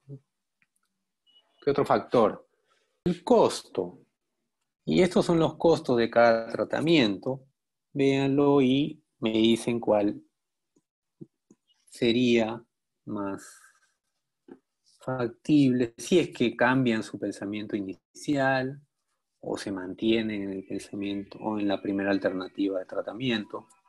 No, o sea, yo me mantengo, si es que tiene los recursos para pagar el solendronato, me dije que eres ya. sí, normal. Pero si no, okay. podemos probar con el endronato. Ya, Catherine, Marina, ¿qué deciden? O sea, todo lo tiene que tomar decisiones. O sea, como por ejemplo el denosumab, va a salir, o sea, no sé cuántas ampollas. Dos ampollas al año, entonces va a salir más caro que el solidrónico. Entonces, ya. solo se podría comprar con el alendronato. Pero si es para, o sea, por día, igual no creo, no va a salir este más económico que el solidrónico, me parece. Ahí está puesto la dosis de 10 miligramos día de alendronato, pero la eficacia es similar si das las 70 miligramos por semana, ¿no? Entonces ahí el costo es 20 céntimos por, por semana ¿no? del alendronato. El resto sí, pues. Entonces saldría que un sol casi mensual. ¿no? En cuanto al risedronato es una tableta semanal también de 35 miligramos, sería por 4. El ibandronato tiene la ventaja que es una vez al mes, pero cuesta en promedio 40 soles por mes. Pero sería un poco más adherente, ¿no? Más adherencia. Definitivamente una vez al año genera más adherencia, pero el problema es que tienes que tener los 1300 en ese momento, ¿no? Y de la poca experiencia que tienen ustedes con viendo pacientes en postas, o viendo pacientes en general en Perú, o en Lima quizá, ¿cuál sería el escenario más probable? Que no tenga esa disponibilidad en ese momento. Eso es lo más probable. Claro, ¿no? Quizá en clínicas o en un lugar donde de gente más pudiente, que quizá pueda hacerla, puedan ofrecerles alternativa, pero en la mayoría de casos, y más aún en hospitales, es poco probable que vayan por esa alternativa. Entonces, si el, si el efecto, la eficacia es igual, podrían ir simplemente acá, ¿no? Inclusive, ¿no? A una vez por semana. No es difícil, ¿no? Acostumbrarse a una pastilla semanal y mencionarle, pues. O capaz también pueden hacer el, el cambio, ¿no? Pueden decirle, mire, esto cuesta así, pero se aplica una vez al año. Ahorita no tiene dinero, pero puede ir juntando y en un año, no lo sé, puede ponerse una ampolla y ya se olvide las pastillas, no lo sé. Eh, es cuestión de tomar decisiones con los pacientes. ¿no? Y siempre los pacientes tienen que dar su opinión también al respecto y tomar ellos la decisión también. ¿no? Sobre todo en tratamientos crónicos, ¿no? en tratamientos de larga edad, hipertensión, diabetes, lipidemia. No simplemente hacer la receta y ya. porque efectivamente hay que asegurar la adherencia. Un factor no solamente para asegurar adherencia es establecer que, o sea, adherencia al tratamiento contra osteoporosis, establecer que no da síntomas, iniciar tratamiento antirresortivo, bueno, acá no voy a hablar del calcio y vitamina D porque eso se habló en la primera sesión, asegurar la adquisición, que el paciente pueda comprar o pueda eh, adquirir esos medicamentos. Ah, a ver, esto es de un artículo de España para que vean la diferencia. Esto es quién hizo el seguimiento, quién inició el tratamiento y quién hizo, hizo el seguimiento de los, de los casos con osteoporosis. Y miren, el médico de familia fue el que más, más vio estos casos. Nuevamente por lógica, ¿no? Mejor dicho, es una enfermedad prevalente y va a escapar, va a escapar a, a todas las especialidades. Entonces, mientras más pacientes se puedan tratar es mejor, es mejor. Entonces, se insinúa, ¿no? Que la paciente desde el 99 tenía osteoporosis con esa radiografía rodilla. Bueno, digamos que se confirma, más que se confirma, ¿no? Se cuantifica, diría yo, se cuantifica con la densitometría, ¿no? Una osteoporosis moderada, si no severa, por el, el escorte entonces vamos a avanzar cuatro años más en el tiempo, ¿no? Entonces primero vimos 99, luego vimos 2013 y ahora vamos a ver a la paciente. Este es el afiche de la segunda temporada de Dark. Y vamos a verla en el 2007. Para esa fecha tenía 78 años ya. Estos son los datos igual de la consulta de cardiología. Niega, niega hipertensión, niega diabetes, lipidemia, ¿O por qué va a consultor de cardiología? Porque la mayoría va por eso, ¿no? Dolor torácico, mareos, esfuerzos, ortopnea, disnea parasítica nocturna y el examen físico es normal excepto por eso, ¿no? Excepto por el valor de la presión arterial, le encuentra injusticia yugular, la yugular y un edema. ¿Qué les llama la atención de esta, de esta consulta? Por un cardiólogo, ¿no? Un médico cardiólogo, el hospital también, ¿no? pues tiene síntomas de insuficiencia cardíaca. Ya, ¿qué más? Sí, con la presión alta. Ya, ¿qué más? ¿Qué más le llama la atención? Dice que no tiene hipertensión, a pesar de que ya teníamos antes que... Ajá. Que sí tenía hipertensión. A pesar que un médico ya había escrito en su historia un diagnóstico de hipertensión arterial, aunque en esa época el médico eligió dar tratamiento no farmacológico, que fue una dieta hiposódica. Y bueno, quizá también explicó el tema de otros, otras medidas no farmacológicas. Pero, ¿qué significa que la paciente haya dicho que no tiene hipertensión? Que no sabía su diagnóstico. Por lo tanto, no siguió ningún tratamiento. Claro. Que no, que no Claro, entendió ¿no? que tenía hipertensión. O no se le explicó bien. No entendió. Entonces, ¿qué conclusión pueden sacar ustedes hasta acá, desde ese punto de vista?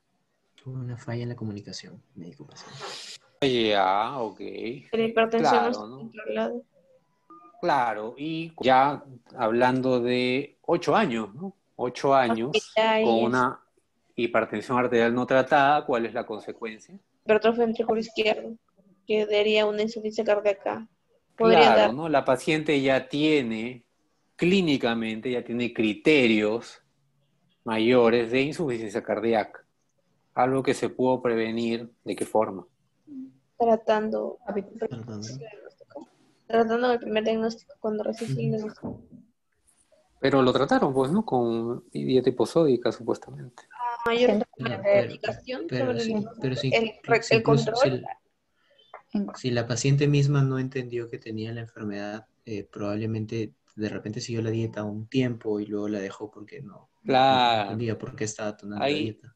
Efectivamente, hay un problema de mensajes, varios mensajes, ¿no? Uno que entienda qué significa tener presión elevada, presión arterial elevada. Lo otro, como menciona Marina, las consecuencias de tener presión elevada y fundamentalmente, ¿por qué tiene que tener las consecuencias? Porque, nuevamente, es una enfermedad, nuevamente no. Además, esta es una enfermedad también asintomática y eso también debe dejarse claro. La mayoría de gente cree que solamente cuando tienen dolor de algo, generalmente dolor de cabeza, es que tienen presión elevada. Cuando ya no tienen ninguna molestia, cuando están normales, entre comillas, para ellos es que su presión está controlada. Pero eso no es real. pues, ¿no? Entonces la presión se mantiene elevada y daña el corazón, entre otros órganos también. ¿no? Por eso es muy importante el mensaje. Pero no es simplemente una transmisión del mensaje. Es como, y bueno, yo siempre soy crítico en la universidad, eh, como la mayoría de profesores creen, ¿no? Que si yo me paro, bueno, antiguamente, frente a un grupo de alumnos y hablo, o leo una diapositiva, o ya les paso la diapositiva, o la mayoría, no mayoría, todos los alumnos por igual van a aprender de lo mismo. No, no es así. El hecho que tú o de uno hable un concepto, un mensaje, de un mensaje, no significa que la otra persona lo va a entender como tal. ¿no? Entonces, para eso, ¿qué tienen que hacer? Ustedes, como médicos, que están frente a un paciente que le están informando de un diagnóstico y de una enfermedad que requiere un manejo. ¿Qué tienen que hacer más allá de solo transmitir el mensaje del diagnóstico y del tratamiento? O después de transmitirlo.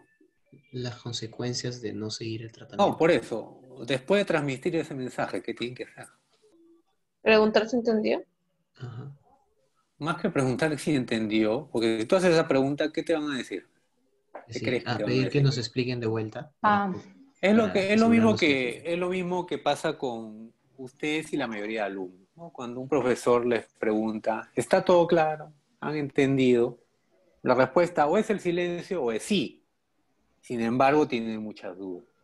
Pero obviamente ustedes tienen, digamos, una preparación un poco mayor que la mayoría o el promedio de pacientes en general. Entonces es diferente si yo les pregunto qué han entendido o hagamos un resumen de lo que han entendido. Es una evaluación. Entonces a los pacientes también hay que evaluarlos para saber qué es lo que han entendido. Y la mayoría se va a quedar callado. O porque no tiene vergüenza, no sabe explicar, etcétera, etcétera. Entonces se pierde, ¿no? Ustedes han perdido el tiempo, la paciente también ha perdido el tiempo. Y más que perder tiempo, es, se ven estas consecuencias. ¿no? Después. Entonces, ¿cuáles serían los diagnósticos? Insuficiencia cardíaca, probablemente, hipertensión arterial y dolor torácico, ¿no? ¿Y por qué sería el dolor torácico probablemente? Porque fue el cardiólogo. No, por eso fue el cardiólogo, ¿no? No fue porque tenía la presión elevada, ¿no? Eso fue un hallazgo. Para el dolor en, en torácico. ¿Por qué? Ya, claro, ¿y por qué fue el cardiólogo? ¿Qué piensa la gente en promedio cuando tiene un... Sí, porque Infarto. piensa que tiene un es infarto. un infarto. Exacto, porque tienen miedo que sea un infarto. La mayoría de veces no lo es, porque para que haya ido a consultorio de cardiología, difícil que eso sea un infarto. La mayoría de infartos son tan de tal magnitud que van a emergencia, no van a, no van a consultorio. Pero ellos igual creen, ¿no? Que es el corazón, que tiene un infarto, que el infarto va así, ¿no? Poco a poco, no, no, no tienen el concepto que un infarto es así, ¿no? Es abrupto. Entonces creen eso. Ahora, puede tener angina también, ¿no? Una angina estable, no tener un infarto necesariamente. Para eso necesita exámenes, etcétera, ¿no? Pero e, eso hay que evaluarlo también, ¿no? Y hay que plantear diagnósticos también. Pero el cardiólogo que ¿Qué diagnosticó? Solamente diagnosticó dolor precordial, y su insuficiencia cardíaca y cardiopatía isquémica. Y le dio una receta con Nitropac. ¿Saben qué es Nitropac? Nitroglicerina. Nitroglicerina. Es una nitroglicerina, pero ¿para qué sirve? Con eso alivia el dolor. Analgésica es un vasodilatador, ¿no? Y con eso alivia un dolor tipo angina porque produce vasodilatación que en una coronaria que está parcialmente obstruida. Mejora el flujo y por lo tanto mejora la isquemia. En una angina estable, nada ¿no? En una angina inestable o en un infarto ya el manejo es otro. Pero no le pide ningún examen auxiliar, no hay ningún otro tratamiento, ¿no? No hay otras medidas. Ahora, estamos hablando del 99, del 2000, ¿no? Pues ellos tenían, no tenían el JNC8, no tenían las guías nuevas del 2018, 2019, ¿no? Pero vamos a revisar los conceptos que habían en esa época, ¿no? Esta es la guía del 99 de manejo de hipertensión. Y también está establecido, ¿no? Que hay factores de pronóstico que se deben evaluar en un paciente que recién diagnostico con hipertensión o que estoy manejando con hipertensión. Y la mayoría tiene que ver con complicaciones, ¿no? O daños o factores de riesgo adicionales que me eleven el riesgo cardiovascular. Y son múltiples, ¿no? no solamente colesterol, fumar, el género, bueno, que no se puede cambiar, ¿no? Obesidad, sedentarismo, si allá hay daño de órgano blanco, ¿no? Es diferente que yo tenga hipertensión sin hipertrofia ventrículo izquierdo y con hipertensión de, hipertrofia, perdón, de ventrículo izquierdo. Si hay daño renal, ya, pero no solamente como valor de creatinina o tasa de filtración glomerular, sino también como microalbuminuria o proteinuria. Si ya encuentro una placa por imágenes, no solamente por ultrasonido, sino por radiografía, o si ya tiene un evento, pues. Si ya tiene un evento es diferente. Cerebral, cardíaco, renal, vascular, ¿no? o retinopatía, ¿no? Y este es el score de Framingham, que ahora también se puede usar en calculadoras, ¿no? Por esto antiguo, antes de que se hicieran los smartphones y las calculadoras y el internet, se hacía así. Manualmente. Entonces, ¿qué hacía? O qué se hacía. Catalogar y te dan un puntaje, ¿no? Si la paciente tenía tal edad en esa época, 73 años creo, 10 puntos si la menopausia fue temprana o fue tardía, tales puntos, en este caso fue temprana. Bueno, no teníamos perfil lipídico, pero vamos a ponerle un promedio, 200, 220 con HL en 40, son 4 puntos. Si tiene diabetes, tabaco, alcohol, 0 puntos. Y si tiene, oh, perdón, el valor de presión arterial sistólica, sin tratamiento y con tratamiento. Y acá ese es el puntaje. Entonces, de acuerdo a esto, sale este puntaje, que sale entre 34 y 36, un porcentaje entre 20 y 30% de tener un evento cardiovascular. Y estamos hablando del 2007, ya. Ese porcentaje es alto. Entonces, ¿qué tendría que hacer? Para yo bajar ese riesgo cardiovascular. Pues lógica, ¿no? Tratamiento farmacológico. Dime, claro, ¿no? Bajar los valores de presión, con esto bajo el puntaje, y bajar también el colesterol si es que está elevado, ¿no? Con esto bajo el puntaje y esto baja también la probabilidad, ¿no? Solo por lógica. En este caso solamente las variables son presión arterial sistólica y valor de colesterol y HDL, ¿no? Porque todo lo demás o no tiene o no se puede modificar. Y esta es la placa de, de tórax de la paciente. ¿Qué le llama la atención? Cardiomegalia. Cardiomegalia, ¿qué más? Eh, me parece que hay signos de, edema pulmonar. Eh, edema pulmonar. o sea, lo que veo son radio. no, sí, radiopacidades que están a nivel de, de hilio O- El botón aórtico también. Ujú. parece- no sé no tengo grande. pronunciado. El botón Ujú. aórtico, ya. El arco medio se ve como medio plano. No, no, no está cóncavo. El arco medio no lo veo, o sea, debajo no lo veo cóncavo, sino lo veo como aplanado. Es como un poco convexo. Ya, a ver. Vamos a hacer igual con... Efectivamente, lo primero que se tiene que ver es el corazón. Y hasta por donde se ve, el corazón está grande, ¿no? definitivamente. ¿Qué otra cosa? Efectivamente, el botón o el callado aórtico, ensanchado. Y acá también hay una curva. ¿Cuál es esa curva? ¿Qué es esto? Estas son las tres, las tres curvas, ¿no? ¿Cómo? El Ah, arco medio, no, el medio. A ver, ordénense. ¿Qué dice Catherine? Ah, pues que o sea, se ve es botón aórtico, luego viene el arco medio, que debería ser cóncavo, luego viene la aurícula izquierda y luego viene el ventrículo izquierdo, que se puede ver de ese lado. Y de acá se puede ver la aurícula derecha. A ver, ya, vamos a ponerle. Uno, dos, tres. ¿Qué es este? Uno, la aorta. ¿Qué es tres? El ventrículo izquierdo, ¿Y qué es dos? la aurícula izquierda. Ah, perdón. La aurícula izquierda. Sí, bueno, A ver, voy a borrarlo para que lo vean.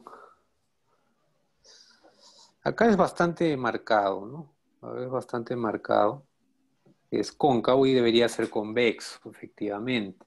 Pero eso no es la aurícula. La aurícula izquierda es anterior. Esto es lo que se llama el pulmonar. No. Claro.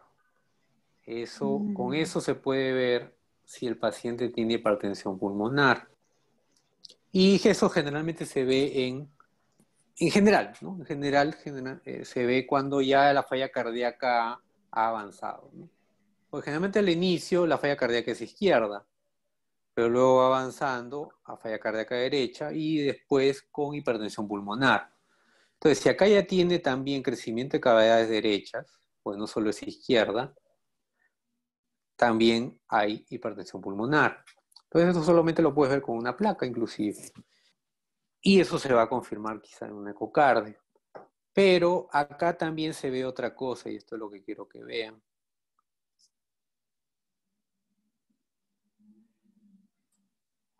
No sé si pueden delimitar.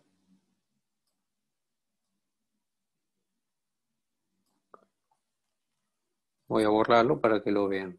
Si no, pueden inclinar si están en tablet un poco y ver o verlo un poco de lejos. No sé si llegan a diferenciar eso. O sea, sí se ve una diferencia de, ¿Clasificación?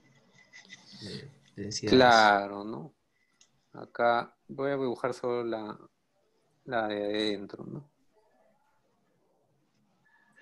Esto es el lumen, pero esto efectivamente es una placa grande, ¿no? Una placa calcificada, una placa, un ateroma.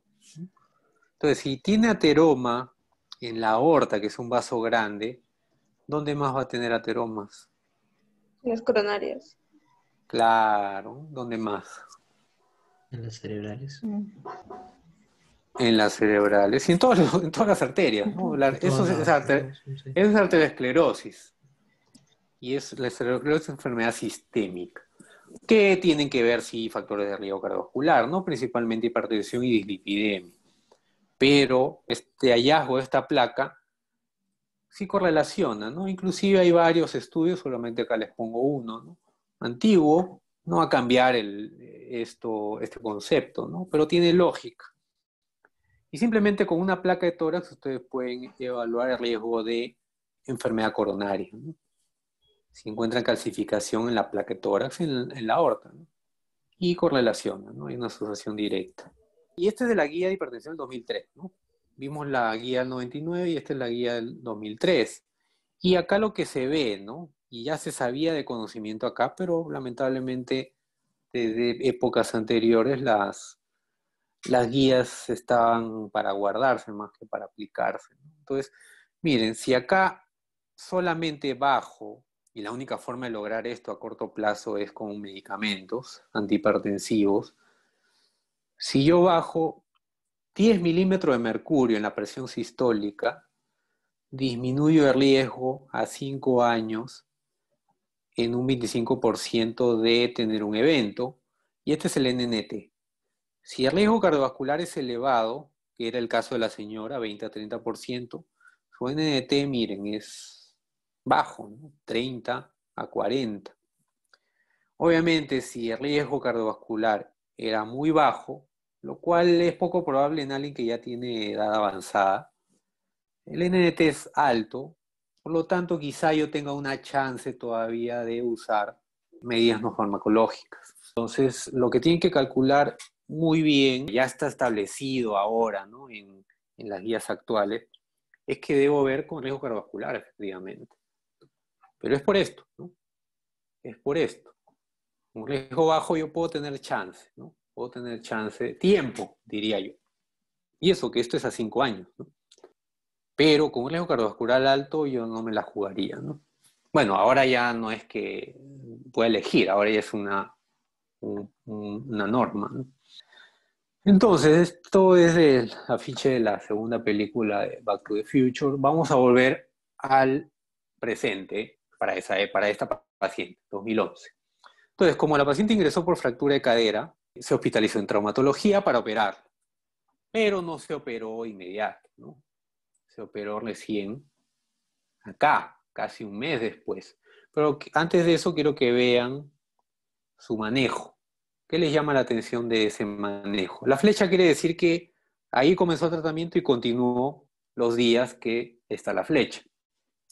Donde no hay, donde no hay flecha es que no recibió tal tratamiento. ¿Qué les llama la atención de ahí, manejo?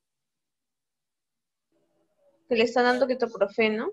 Y habíamos hablado que es uno de los que tienen más riesgo adversos.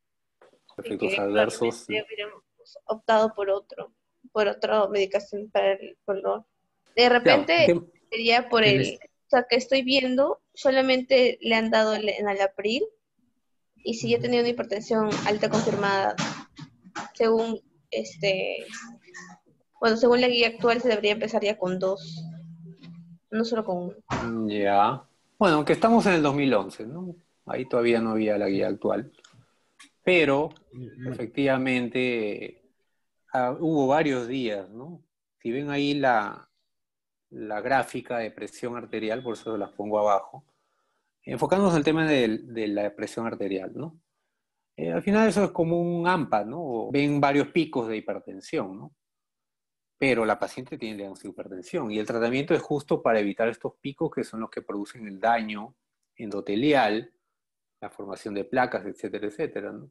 Pero miren, ha estado desde casi dos, más de dos semanas sin tratamiento. ¿no? Recién se lo han iniciado acá.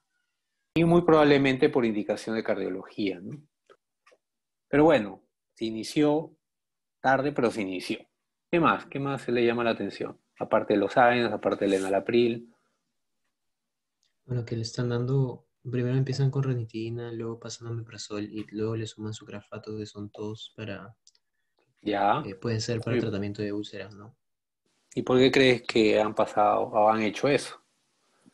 Y, luego, y justo coincide con los días que le descontinuan el ketoprofeno, así que me imagino que de repente ha, ha empezado con síntomas de úlcera péptica y han decidido darle su, su, inhibidor de bomba preprotones y quitarle los AINES. También, pero le siguen dando la heparina.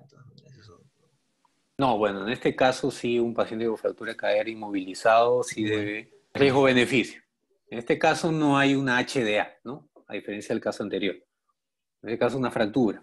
De acuerdo que si le doy AINES puede generar una HDA que no la tenga pero ellos eligieron efectivamente usar la nitidina como protector, digámoslo así, o más que protector, como vimos si se recuerdan los, las gráficas, ¿no? La nitidina mejora, pero es mucho mejor omeprazol. Y esto es una prueba, ¿no?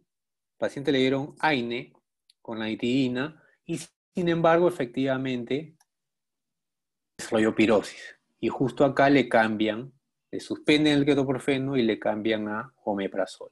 E inclusive le agregan, como dice, sucralfato.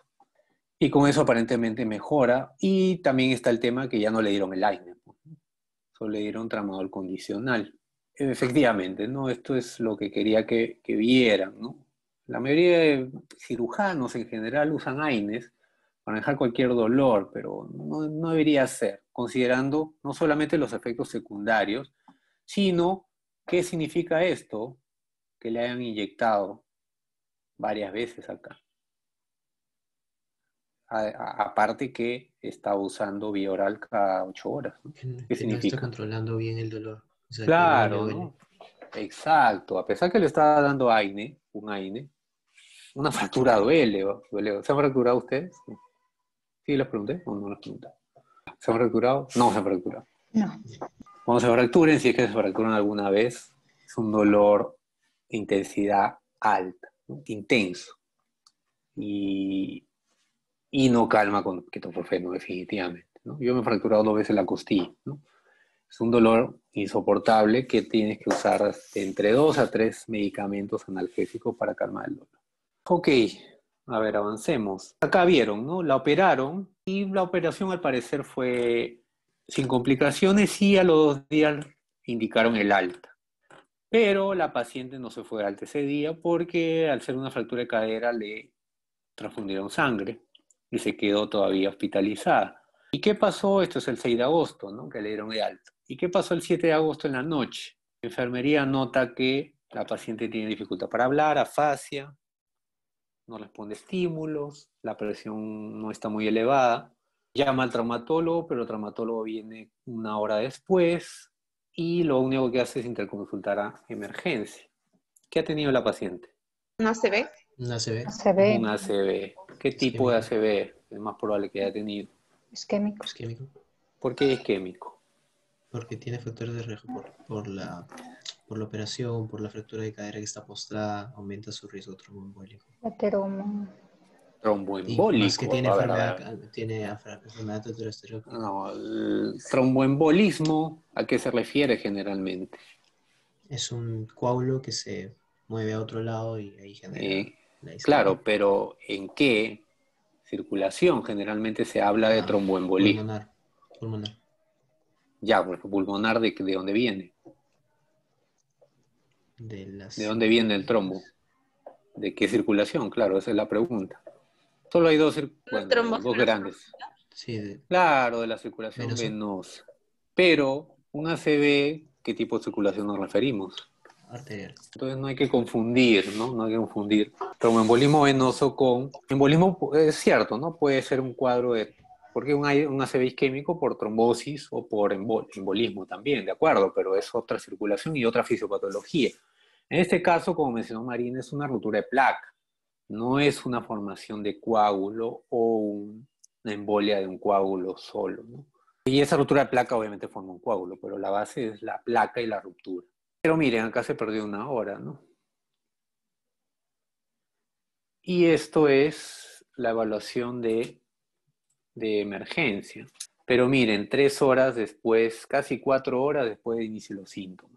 Le encuentro una presión controlada, se confirma la, focalización, ¿no? Afasia, mi parecía derecha, Babinski, no había signo meningio. Pero le pones esto diagnóstico, descartar ACV, posoperada, sugieren tomografía, AGA, EKG y la evaluación con resultados. Los resultados llegan después, todavía de dos horas después más, ¿no? No había hipoglicemia, el EKG no hay infartos, y cardíacas normales, y la tomografía se la hacen ocho horas después porque no había tomógrafo en el hospital.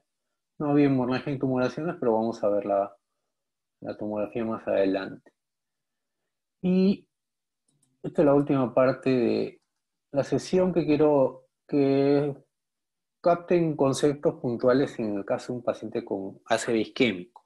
¿Y cuáles son? Es principalmente los manejos. Los manejos tienen a grandes rasgos dos cosas principalmente. Uno es la oportunidad. el momento de iniciar el tratamiento. Y otro, reconocer cuáles son los efectivos o cuáles son los medicamentos indicados para cada momento. Uno es manejo del stroke, manejo del trombo, manejo del trombo agudo, y otro es prevención secundaria. La mayoría de médicos saben lo de prevención secundaria. ¿Cuál es el tratamiento de prevención secundaria de un stroke isquémico? Farmacológico, ya, para que no se mareen tanto. ¿Aspirina? Aspirina, ¿qué más? Pues pensaría en estabilizar la placa. Claro, ¿cómo? Con atorvastatina de 80. Claro, atorvastatina de 80. Y además, si el paciente tuviera otras enfermedades, controlar la presión, diabetes, etcétera, etcétera. Pero esa es prevención secundaria para que no ocurra otro evento.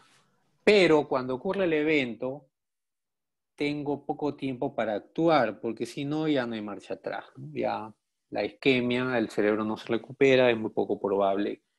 Y no solo eso, sino puede empeorar más, inclusive fallecer. El único tratamiento establecido para un estrés isquémico es una trombolisis, ¿no? un alteplase.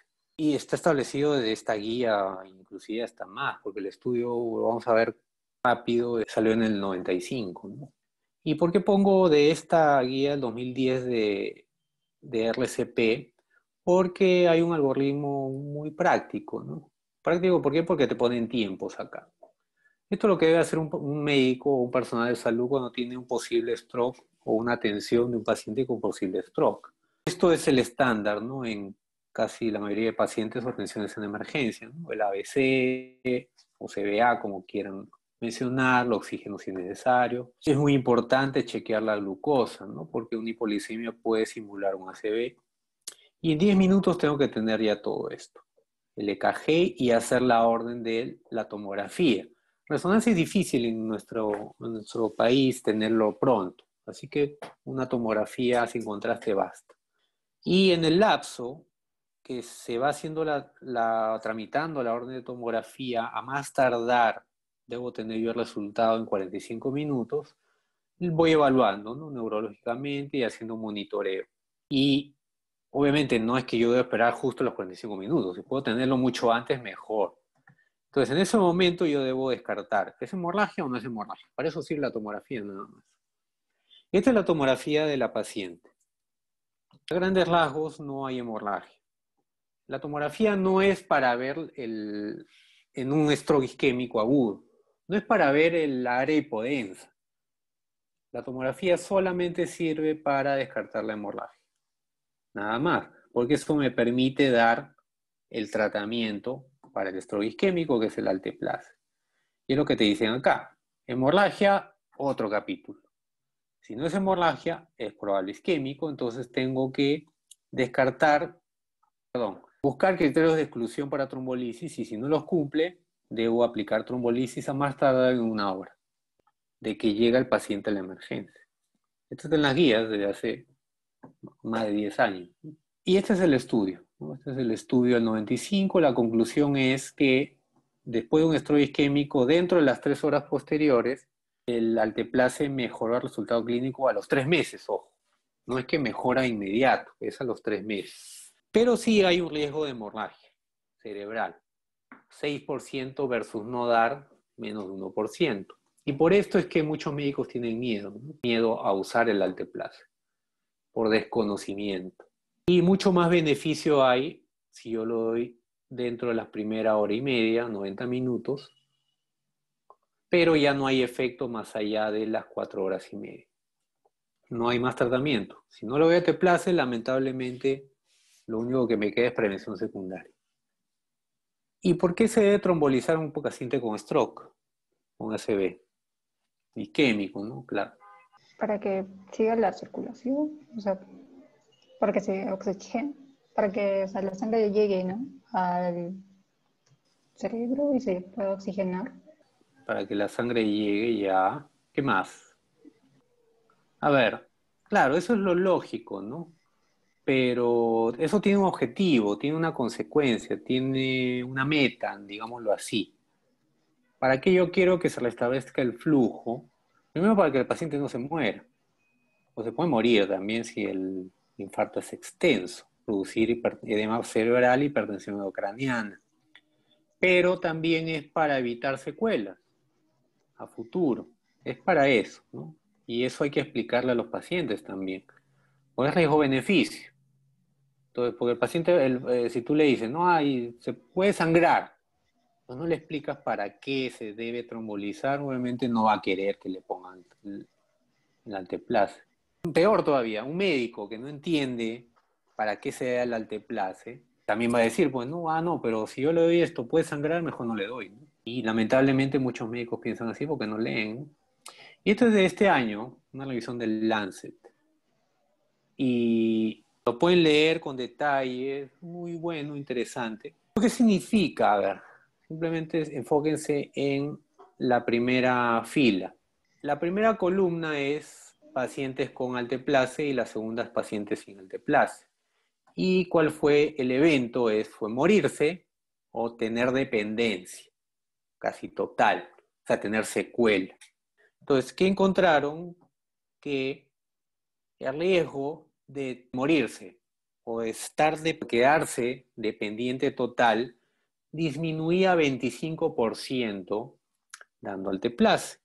Ya no vean lo demás, porque se pueden marear. ¿Qué, qué significaría eso? Si yo doy place y tengo un 25% menor riesgo de morirme versus un 6% de sangrar, ¿cuál elegirían ustedes? Si es que tuvieron un isquémico.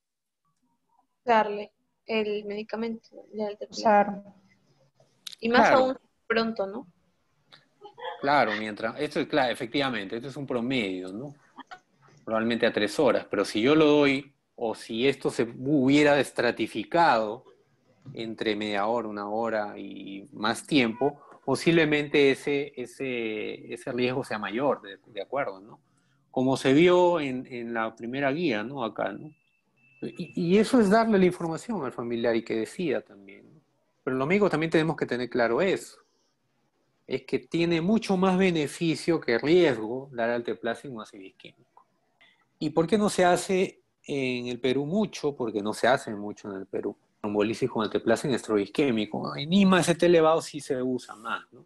Ah, esto es Estados Unidos, hace 10 años, ¿no? Miren, de 60.000 pacientes que llegaron con estro isquémico, solo se hicieron 7% de trombolisis con alteplase, lo cual hace 53 pacientes por mes. Es poco, ¿no? Para toda la magnitud de ACVs que llegan.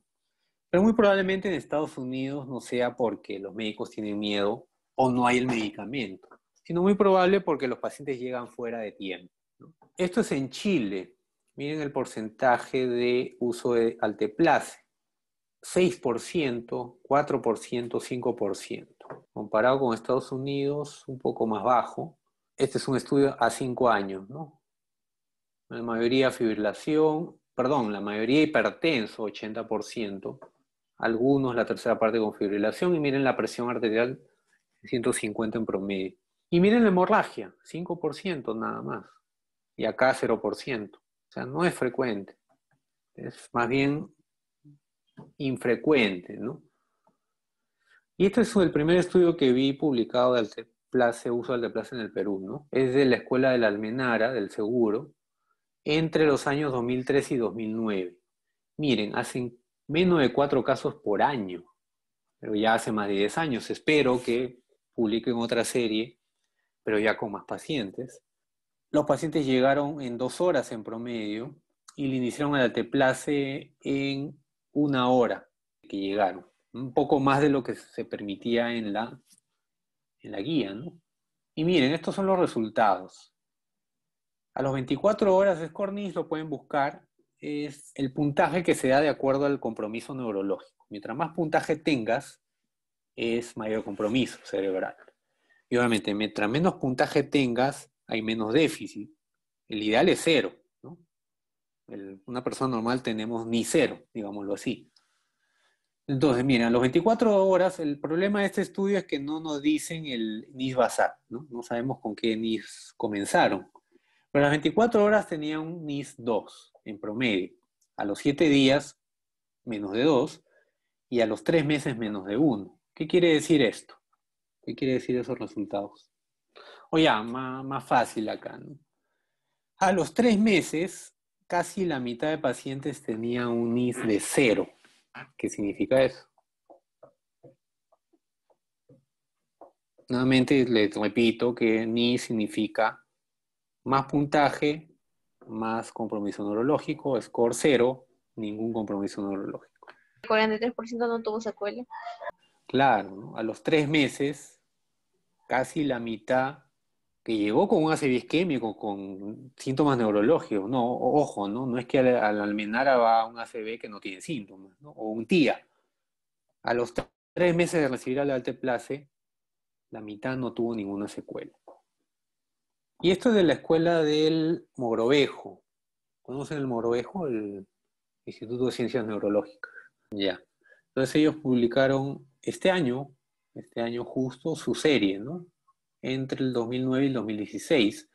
40 casos, un poco más de, casos. Y similar, ¿no? Miren, hipertensos 60%, fibriladores más de la tercera parte, 61 años en promedio, y ya tenía antecedente de stroke, 30%. Y miren los tiempos, dos horas o un poco más de dos horas en llegar también. Entonces acá hay un problema también de los pacientes, se demoran dos horas en llegar a la emergencia. ¿Y por qué se demoran dos horas en llegar a la emergencia? Con síntomas de ACV, ¿no? isquémico. ¿Ustedes creen que alguien que tiene un dolor intenso al pecho se va a demorar dos horas en llegar a la emergencia? No. ¿Por qué no? Porque va a sentir que tiene eso, ¿no? La sensación de muerte y va a estar asustado de llegar en cualquier momento. Ya, pero ¿por qué tiene sensación de muerte? ¿Por qué cree que se puede morir? Porque está pensando en un infarto. Exacto. ¿Y hay alguna diferencia entre un infarto al miocardio y un infarto cerebral? O sea, obviamente muy aparte del tema del compromiso cardíaco y cerebral. ¿no? Sé si me entiende la pregunta. A ver, ¿un infarto te puede matar? Sí o no. Un infarto sí. Ya, un est- infar- un infarto miocardio. ¿Y un infarto cerebral te puede matar o no? Sí. Claro. ¿Y por qué la gente sí viene a la emergencia? Porque sospecha que el dolor torácico puede ser un infarto al miocardio y no viene o viene tarde. O no sé si habrán hecho ustedes historias a pacientes con ACV isquémico en el hospital. Algunos llegan inclusive al día siguiente. ¿no? ¿Por qué ocurre eso?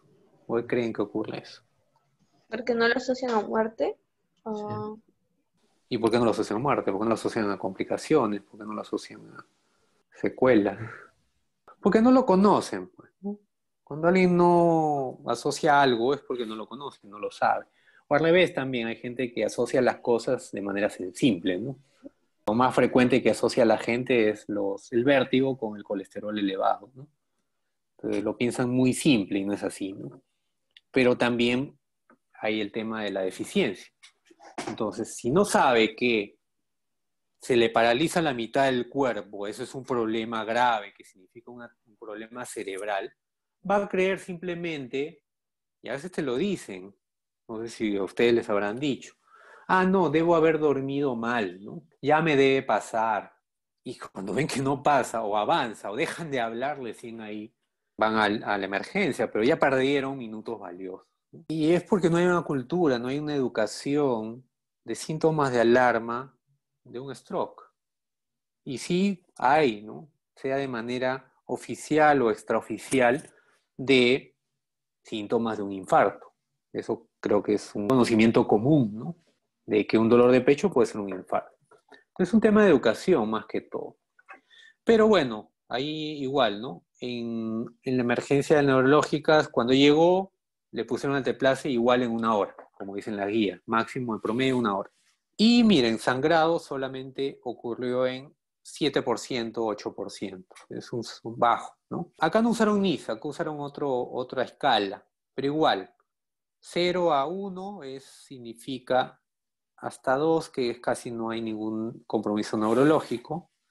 Y esto es al alta, miren, ¿no? Si ponemos acá 0 a 1, 20%, acá incluye el 2, 20% tendría un score de compromiso neurológico bajo. Acá, lamentablemente, miren, ¿no? Hay un, NIS, un NIS basal, antes del alteplase, miren, llegan con 10. Y al alta, que el alta creo que sí está acá, ¿no? Que fue 16 días después en promedio, salieron con un NIS en 6, casi la mitad menos, ¿no? Hay un impacto, hay un impacto en dar alteplase en un paciente con stroke. Pero ese impacto, nuevamente, no se va a ver a los 15 días, se va a ver a los 3 meses o quizá más. Eso es lo que también le tienen que decir a los pacientes. Pero sí hay, sí hay beneficio. Y nuevamente, esto estamos viendo solamente secuela. Ya vieron en el otro estudio que también se está hablando de muerte. Pues si te con stroke se puede morir. Y si no la dan te place, acá no, obviamente no es, estos estudios no están los pacientes con stroke sin alteplase, pero ustedes deben haber conocido pacientes que se han hospitalizado por ACV y se van de alta con la secuela. ¿no? Pocos, pocos recuperan algo, algo espontáneamente. ¿no? ¿Y cuánto cuesta el alteplase si es que no, no hay en el CIS, no hay en el hospital? Cuesta un poco caro, casi 2.500 soles. Esto es a julio, agosto de, agosto, perdón, de, este año. 2.500 soles por ampolla, se necesitan dos ampollas, 5.000 soles. Pero versus morirme o versus quedarme postrado en una cama, creo que es una buena inversión. Si es que nuevamente no lo cubre el CIS o no hay en el hospital que se está atendiendo. Y esto acá, lo que hablamos de, prevención secundaria, ¿no? controlar la presión, miren, bajar 10 milímetros de mercurio, disminuir el riesgo 20%. Y estatinas de alta intensidad, un LL menos de 70 todavía en las guías está así. Yo diría que en otros estudios probablemente se encuentre lo mismo que en infarto. Mientras menos LL tenga, más beneficio puede tener, pero hasta ahora las guías dicen menos de 70 LLD. Aspirina con clopidogrel si es un stroke menor y si es fibrilación es mejor anticoagulantes orales, sobre todo directos. Ya las últimas guías de fibrilación auricular se van más para los anticoagulantes directos más que con la warfarina. Y acá es muy raro usar endarterectomía, ¿no? que es entrar por la arteria de manera invasiva y quitar las placas de la carótida, que generalmente son los focos de ruptura de placas que va a producir ACV. Y esto es el estudio similar al estudio Miracle de, de atorvastatina en infarto de 80 miligramos. En, esto es en estrogue isquémico. Para que vean las curvas también. Miren, este estudio duró hasta 6 años, más todavía que el estudio en infarto. Y miren las curvas igual, ¿no? Se separan después de años. Acá, a lo mucho después de un año, pero el beneficio recién se ve a los seis años. Entonces, nuevamente, aplicando este conocimiento o esta deducción de estas curvas, ¿qué significa? ¿Cuánto tiempo tenemos que dar después de un infarto eh, cerebral a torvastatina 80 miligramos? Ojo a esa dosis. Tres meses, seis meses, un año, dos años, tres años, cuatro años, cinco años, seis años. para obtener beneficio. ¿Seis años? Se empieza a separar la curva por lo menos en dos años, pero... Pero... Pero, pero el significativo crece creo que es a partir de los cinco años. No, el significativo y los resultados finales de cualquier estudio es cuando terminó el estudio, ¿no? Ah, ok, seis años entonces. Claro, ¿no? Entonces es diferente, ojo. Acá las curvas se separan, pero acá no hay diferencia significativa. La diferencia significativa es cuando termina el estudio. Ojo, no hay estudios, ya lo hablamos, que los cortan antes. ¿No? Están planificados para siete años, ocho años, no lo sé. Pero los cortan antes porque el beneficio ya se demostró antes. Y eso es por dos razones. ¿Por qué cortan un estudio antes, cuando ya se demostró el beneficio? Porque obviamente en primer lugar es gasto para ellos, si ya demostraste el beneficio, pero también de parte, por la parte ética. Porque si ya tienes el conocimiento de que un medicamento previene, en este caso, muertes, si no hablamos de secuela por stroke, entonces no sería ético que si ya tienes ese conocimiento le sigas dando placebo al otro grupo. ¿no? Entonces, un estudio, si ya se demostró beneficio, no tendría sentido llevarlo hasta los seis años. Entonces, solo a los seis años, en este caso, es que se demostró el beneficio y ahí paró el estudio. pues. Entonces, por lo menos, efectivamente, debe durar seis años. Pero igual, ¿no? Miren las curvas, si las seguiríamos, probablemente se sigan separando, ¿no? Pero eso nunca lo vamos a saber. Más o menos así, ¿no? Igual acá, ¿no? Porque acá ya se está aplanando, ¿no? Entonces, ¿qué conclusión podrían sacar con esto también? Esto es probablemente sería bueno que tenga su terapia con, con, con estatinas para el resto de su vida. Claro, lo que hablábamos en la charla anterior, ¿no? De Igual. hipertensión con estatinas. ¿no? El estudio, ok, tengo que terminarlo en algún momento, pero el beneficio es muy probable que continúe. Ojo, ¿no? Nuevamente, acá hablamos que este estudio se hizo con dosis de 80 miligramos de atorvastatina, nuevamente, son seis años tomando atorvastatina de 80 miligramos. No es que, nuevamente, doy un mes 80 miligramos y luego le bajo a 20 o interdiario, etcétera, etcétera, y todas las variantes que se inventan algunos médicos. La paciente continuó hospitalizada después de la recibió atorvastatina, aspirina, siguió con omeprazol, tramadol, etcétera, ¿no? Esto es el riesgo de AINES que para stroke también. Los AINES no solamente producen infartos miocardio, producen problemas gástricos, sino también tienen riesgo de stroke. Y miren, los riesgos varían, ¿no? Entre 60% hasta 100%, con el, hasta más del 100% con ketorolaco de nuevo, ¿no? De nuevo el ketorolaco es buen analgésico, buen antiinflamatorio, pero produce problemas. Gástricos y acá también está visto cardiovasculares, cerebrales, stroke. Y miren, acá también ese leucocit tiene menos riesgo, pero también tiene riesgo. ¿no? No tiene riesgo de hemorrágico, pero sí de isquémico. ¿no? Y para terminar, esta es la ficha de la última temporada de Dark. Les pregunto, ¿qué hubiera prevenido los eventos finales de la paciente? ¿Qué eventos finales tuvo la paciente en el 2011? Su fractura primero. Ajá. La insuficiencia cardíaca. No, eso la tenía en el 2007, ¿no? Hace- En el 2011. El ACV, claro. Entonces les pregunto, ¿qué hubiera prevenido los eventos finales de la paciente?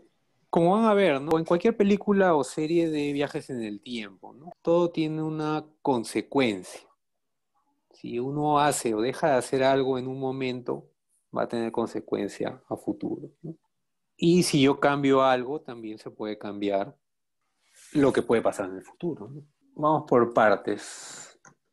A ver, en este caso en particular, en este caso en particular, verlo desde 2011 solamente con hacerle la tomografía o el alteplace, claro, quizá puedo resolver el problema de, del stroke, pero el stroke, ¿por qué ocurrió? Probablemente, muy probablemente por una placa carotidia o en otra arteria que se rompió fue al cerebro. Entonces, ¿cuál fue el factor de riesgo para tener eso? Es principalmente la hipertensión. Y si yo hubiera tratado la hipertensión, no del 2007, sino por lo menos desde el 99 con fármacos, y le hubiera hecho entender a la paciente la importancia ¿no? de tratarse la hipertensión, quizá hubiéramos evitado o alargado un poco más el evento del stroke. Pero efectivamente, efectivamente, la paciente también tenía una complicación que es la fractura de cadera. Que si bien se pudo operar quizá y si es que no hubiera tenido el stroke, probablemente podría haber vu- vuelto a ser funcional. O sea, hablo de caminar y hacer sus cosas y volver a, a estar en un cachá, ¿no? Entonces, las dos cosas tendrían que manejarse efectivamente, porque son dos complicaciones distintas. Pero igual, ¿no?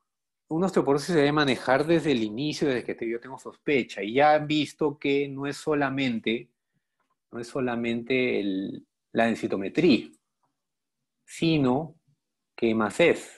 la, la historia de fracturas y el FRAX, ¿no? El, El score. El score de Frax, ¿no? El score de Frax es muy importante en alguien que obviamente no tiene una densitometría diagnóstica, porque obviamente si yo le hago una densitometría a un paciente que sospecha osteoporosis y el score está menos 2.5 o para abajo, ni vuelta a quedar. Pero no es solo eso, ¿no? Debo usar el score de Frax también. Pero hay otras cosas también, ¿no? Eso es lo macro. Si hubiera sacado cardiovascular, si hubiera tratado de, buscado tratado dislipidemia, si no hubiera usado AINES también, ojo, el AINES no es que lo recibió solo cuando se fracturó, ella tenía artrosis, ¿no? Y tenía dolor en mayor o menor grado, y muy probablemente ella seguía usando AINES, ¿no? Lo otro también, el que no se usa y se debe usar también, es la prevención primaria con aspirina. Pacientes hipertensos que ya tienen un riesgo cardiovascular elevado, si no han tenido un evento se benefician de usar aspirina en cierta población. Y en caso, en caso ya, yo prevení, ¿no? Este, tomé riesgo cardiovascular, pacientes toman hipertensivos, eh, se manejó la dislipidemia, eh, no usaba AINES, usaba aspirina, pero aún así, tuvo un stroke isquémico, yo debo actuar rápido. Debo hacerle una tomografía pronto, menos de una hora idealmente, y darle alteplase lo más pronto. ¿Por qué? Porque me previene muerte y me previene secuela. Ok, no sé si tienen alguna duda, pregunta, consulta de este caso, de los temas que hemos conversado, discutido. Sí, doctor. Eh, tenemos, o sea, es una pregunta respecto a, lo que tiene que ver con la menopausia, que la tuvo súper temprana, a los 35 años. Aparte del, del, ¿cómo se llama?, de, de la osteoporosis, también eso es un factor, este, el, estrógeno es protector de, eventos, eventos este, cardiovasculares, ¿no? De IMA. Entonces, eso también podría haber, haberme orientado, o sea, mi pregunta va a que si yo tengo una paciente con, con menopausia temprana o precoz, también tengo que estar tratando de hacerle un seguimiento de riesgo cardiovascular más que a una paciente que tiene su menopausia a los 50 años, por ejemplo, normal. Claro, claro, también. Y no solamente por el factor de riesgo cardiovascular, sino también por lo mismo del factor de riesgo de osteoporosis, ¿no? Por las dos cosas, ¿no? Efectivamente, y es un dato que se debe sacar y sale en la historia, ¿no? Y se establece en la historia. Mientras más años, obviamente, de menopausia tenga una persona, una mujer, tiene más riesgo, ¿no? Efectivamente. Y bueno, como ya han visto, también tengo que ver, buscar otros factores de riesgo cardiovascular, ¿no? Perfil lipídico, diabetes, daño ya de órgano blanco, fuera de los scores de riesgo cardiovascular, que ya hemos visto más o menos. ¿Alguna otra duda, consulta? ¿No? Ok, entonces quedamos ahí por ahora. Ya nos estamos viendo entonces. Gracias, doctor. Ya. Chao, cuídense. Saludos.